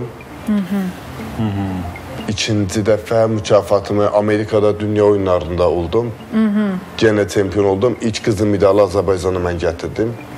Orada da çempion oldum. E, Tekrar da bizi yüksək səviyyədə mükafatlandırdılar. Və üçüncü mükafatım da İslam oyunlarında oldu. Orada da e, şükür olsun birinci yeri qazandım, qızıl medalı və orada da güclü miqdarda e, mükafat qazandıq. Yəni mənə ən böyük dəstəyi bu Azərbaycanda mənə gələn ən böyük dəstəyi mən əslən Güney Azərbaycan Urmiya şəhərindən olmuşam. Nə gözəl. Cənubi Azərbaycandan e, mənə ən böyük dəstəyi olan e, cənab Adil Əliyev idi ki, idmanda, e, maddi, mənəvi olaraq mənə həqiqətən böyük bir necə deyirlər, kömək oldu, böyük bir dəstək oldu və yaxud məsəl təlim məşq toplantılarına gedəndə xaricə məsəl pulumuz olmayanda gedəcəyimiz birinci il elə adı müəllimin yanı idi, gedib oraya. Hətta keçən yarışıma keçdiyimdə də e, təlim məşq toplantısında Taylanda gedəcəkdim. Zəng elədim, müəllim belə Vəziyyət budur, ağırdır. pul yoxdur, Pul yox. dedi, "Hə, qurbanlı gəl. Halaldır. Getdim sağ olsun mənə dəstək oldu. Nə təpulu, yəni özüm gördüyüm, öz gözlərimlə gördüyüm və şahid olduğum çox şeylər var ki, şəhid ailələri gəlir oraya, qazilərimiz gəlir oraya. Həqiqətən bunlar, yəni səmimi deyirəm bunu. Həqiqətən bunları əliboş qaytarmır. Borcumuzdur. Yəni e, çox yaxşı bir insandır və Azərbaycanda belə insanların daha çox olması bizim üçün daha rahatlıq vericidir. Bəhram bəy, çox gözəl məqamlara toxunursunuz. Doğrudan Azərbaycanda istedadlı insanlar çoxdur. Sadəcə biz həmişə e, hara düşməyimizdən asılıdır, necə kimin nəzarətində olmağımızdan asılıdır. Biraz dəstək olan kimi dəfələrlə görmüşük ki, biz bizdə doğrudan partlayışlı insanlar var, üzə çıxırlar. E, Eşən müəllim, e, ümumiyyətlə sizin sahənin gələcəyi ilə bağlı vəziyyət necədir? Pozitivdirmi? Yenilər gəlirmi? Yenilir, bəli, yeniliklər çoxdur. Çoxlu yarışlar olur. İdmançılarımız böyük yarışlarda döyüşürlər və sonuncu biz dünya çempionatından 4 qızıl medal gətirmişik. Maşallah. Və milli komanda yəni medallı qızıl medalların sahibi e, çempionatda çox oldu və gənclərin axını çoxdur. Bizdə federasiyanın de devizi e, kütləvlik yaratmaq idmanda. Nail ola bilirsiniz. Kütləvi, yəni bizim çempionatda min idmançı döyüşür. Nə gözəl. Yəni say Siz çempionat təsəvvür edirsiniz ki, sizin sayənizdə min uşaq hansısa zərərli vərdişlərdən uzaq Bəli. düşür, küçə həyatından uzaq düşür. Federasiyanın devizi kickboxing uşaq cinayətçilərin narkomaniyaya qarşı deviz altında biz illərdir gedir və bu deviz altında da federasiya rəhbərliyinin böyük əməyi var ki, bu uşaqların toparlanması, yəni küçələrdən idman zallarına yığılması. Çox doğrudur. Bəhram bəy, e, hazırda ekrandan sizə baxan valideynlər var, uşaqlar da var ki, hər birinin idmançı olmağını istəyən uşaqlar valideyn, e, valideynlər ki, uşaqlar idmançı olsun. İçlərində bir sizə suallar var ki, necə eləyək? Əsas məsələ təbii ki, sonunda gəlir hər şey sizdən asılı olur. Fərd olaraq insanın özündən asılı olur. Baxın neçə yaşla başlamısınız idmana və nə etdinizsə gəlib sonunda bu uğurlara imza ata bilirsiniz. Əsas məsələ nədir? Mən e, 7 yaşdan başladım idmana, amma təbii zala getdiyim zaman yəni oynuyordum orada, qaçırdım sola sağa, uşaq idim. Və istər-istəməz Kim özümə aparmışdı sizi Mən zala? qardaşım aparmışdı, böyük qardaşım. Bəli. Və qardaşım döyüşürdü amma şey deyil də, bizə professional deyil, də, hobbi Həvəskar. olaraq məsələn, həvəskar kimi məşğul oldu. Məni də yalnız apardı. Yəni orada e, evdə Gözün qalmayam açılsın. da, ay sağ. Hə, gözün açılsın. Orada da e, getdikcə sevgi artdı, sevdim, xoşuma gəldi, nə bilim. Bir də bizdə Qafqaz milləti, türk millətiyik da, biz dalaşqan bir can, qanımızda dalaşmaq var. Və e, qanımız coşur belə şeyə. Bizdə yəni mən daha doğrusu gördükdən sonra həvəsləndim və çox sevdim. Bəs müəllimlə nə vaxt tanış oldunuz? Məncə o çox Mən- vacib bir o direkt kilit nöqtəsidir. Necə Mən, tanış e, oldunuz? Güney Azərbaycanda dediyim kimi Urmiya şəhərində anadan olmuşam. Sonra e, Türkiyəyə keçib, Türkiyədən sonra Azərbaycana gəlmişəm və 2015-ci ildən Azərbaycandayam və bunu da e, demədən keçməyəcəm. E, yəni həyatımda və ya ömrümdə ən böyük mükafat aldığım şey cənab prezident mənə 6 ay içində e, Azərbaycan vətəndaşlığını verdi. Və e, təbii bu da Adi müəllimin köməkliyindən, Adi müəllimə çox bu dəstək oldu. Yəni həyatımda ən böyük mənim mükafatım bu idi. Çox sağ olsunlar, minnətdaram. Təbii 2015-ci ildən ki Azərbaycana gəldim, e, sonra də Eşə müəllim də bizim baş məşqçimizdir. Təlim məşq toplantılarında bir yerə komanda ilə yığışırdıq, məşq eləyirdik və belə də bizim tanışlığımız oldu. Bir şey də qeyd edeyim ki, Bəhrəmə Blori təşkilatında döyüşür. Bu peşəkarın öz qaydaları var da. Bir var rəqibi seçirsən, döyüşürsən. Amma Bəhrəm bu yarışlarda e, rəqibə Bəhrəmin rəqib seçim imkanı yox idi. Bəhrəmə qoyulan idmançı ilə döyüşməli idi. Yəni bu da həm buna fiziki, psixoloji çox böyük hazırlıq olmalıdır. Yəni bu təşkilatla müqavilə bağlayandan sonra çox idmançılar qalxır, müəyyən səddə döyüşmürlər ki, yəni istədiyi idmançı ilə döyüşmək istəyirlər. Hı hı. Yəni bu təşkilatın bayramın qabağına hansı idmançını qoydular onunla döyüşdü. Bəlkə də bu söz yerinə düşür, deyir çempion olmurlar, çempion doğulurlar. Bəli, Məncə bəli, insan əgər çempion kimi doğulursa, onun qarşısında duracaq rəqibin heç bir şansı yoxdur. Təşəkkür edirik gəldiyiniz üçün. Uğur olsun Bəhram bəy. Çox sağ Fəxr olun. edirik. Baxın elə o çığıraraq, qışqıraraq qalib olan anlarınızı görək ekranlarda, İnşallah, inşallah ümid edirik ki, gələcəkli yarışlarda da bayrağımızı qaldırıb yenə himnimizi səsləndirə bilərik. Mütləq və sizin baxı bu ə, burada mən istərdim onu göstərərlər ə, bayrağı ki, fərqi yoxdur. Bax, hər yerdə var, bayraq burada var, burada Bax var. onu yəni deyəcəkdim. Fərqi yoxdur. Ringdə, verilişdə, studiyada harda olmasına asılı olmayaraq bax sizin Bax üstünüzdə Azərbaycan bayrağını gəzdirməyiniz həqiqətən də çox böyük mətləblərdən xəbər verir. Hər ikinizə təşəkkür edir gəldiyiniz üçün. Çox sağ olun. Səhər tezdən. sağ olun dəvət elədiyinizə görə. Sağ olun Eşən müəllim. Sağ olun. Sağ olun dostlar. Əziz dostlar, proqramımızın sonuna gəlib çatırıq. Sonda mənim bir borcum var, təşəkkür borcudur bu. Radrigo Geyim mağazaları şəbəkəsinə təşəkkür edirəm. Siz də Radrigodan geyinə bilərsiniz. Ünvanlar aşağıda görürsünüz. Rahat yerlərdədir. Metro çıxışlarındadır və Sumqayıtda da var. Gedin, geyinin, inanın cibinizə və zövqünüzə tam uyğun olacaq. Sabah yenidən görüşəcəyik. Salamat qalın. Əziz xanımlar, mən də sizə təklif edirəm ki, bax belə yaşıl, rəngarəng, bax əsl yay rənglərində geyimlər əldə etmək üçün Podium Park dükanına gedirsiniz. Artıq bəli ünvanı gördünüz ekranda və qızlara da təşəkkür edirəm ki, dayanmadan mənim üçün gözəl geyimlər göndərirlər. Sonda bizim baş sponsorumuz və yaxın dostumuz var. Final çaydır. 30 ildir ki, həyatımızda olan final çay öz keyfiyyətini qorumaqla bir klassikaya çevrilmiş və ölkəmizin bütün bölgələrində sevilərək içilməkdədir. İllərdir dəyişməyən keyfiyyəti və dadı ilə final çay doğrudan da klassik olmağa layiqdir. İllər ötsə də, insanlar və məkanlar dəyişsə də final çay ilk günkü keyfiyyətini, orijinallığını, ləzzətini və təbiiliyini qoruya bilib süfrələrə dad qatan, özəl günlərimizdə, söhbətlərimizə sirdaş olan və ölkəmizin bütün bölgələrində sevilərək içilən final çay öz dolğun bergamot ətri və dadı ilə çay sevərlərə fərqli hisslər yaşadan yeni ultra Earl Grey çeşidini təqdim edir. Təbii bergamot ətri çaya xüsusi qeyri-adi xoş ətir və dad verməklə yanaşı nostaljanlar yaşadır final çay. O bir klassikadır. Özünüzə yaxşı baxın. Sabah yenə Ölkənin Baxılan kanalında səhər saat 7-də qarşınızdayıq. Salamat qalın. Baş sponsor Final çayı.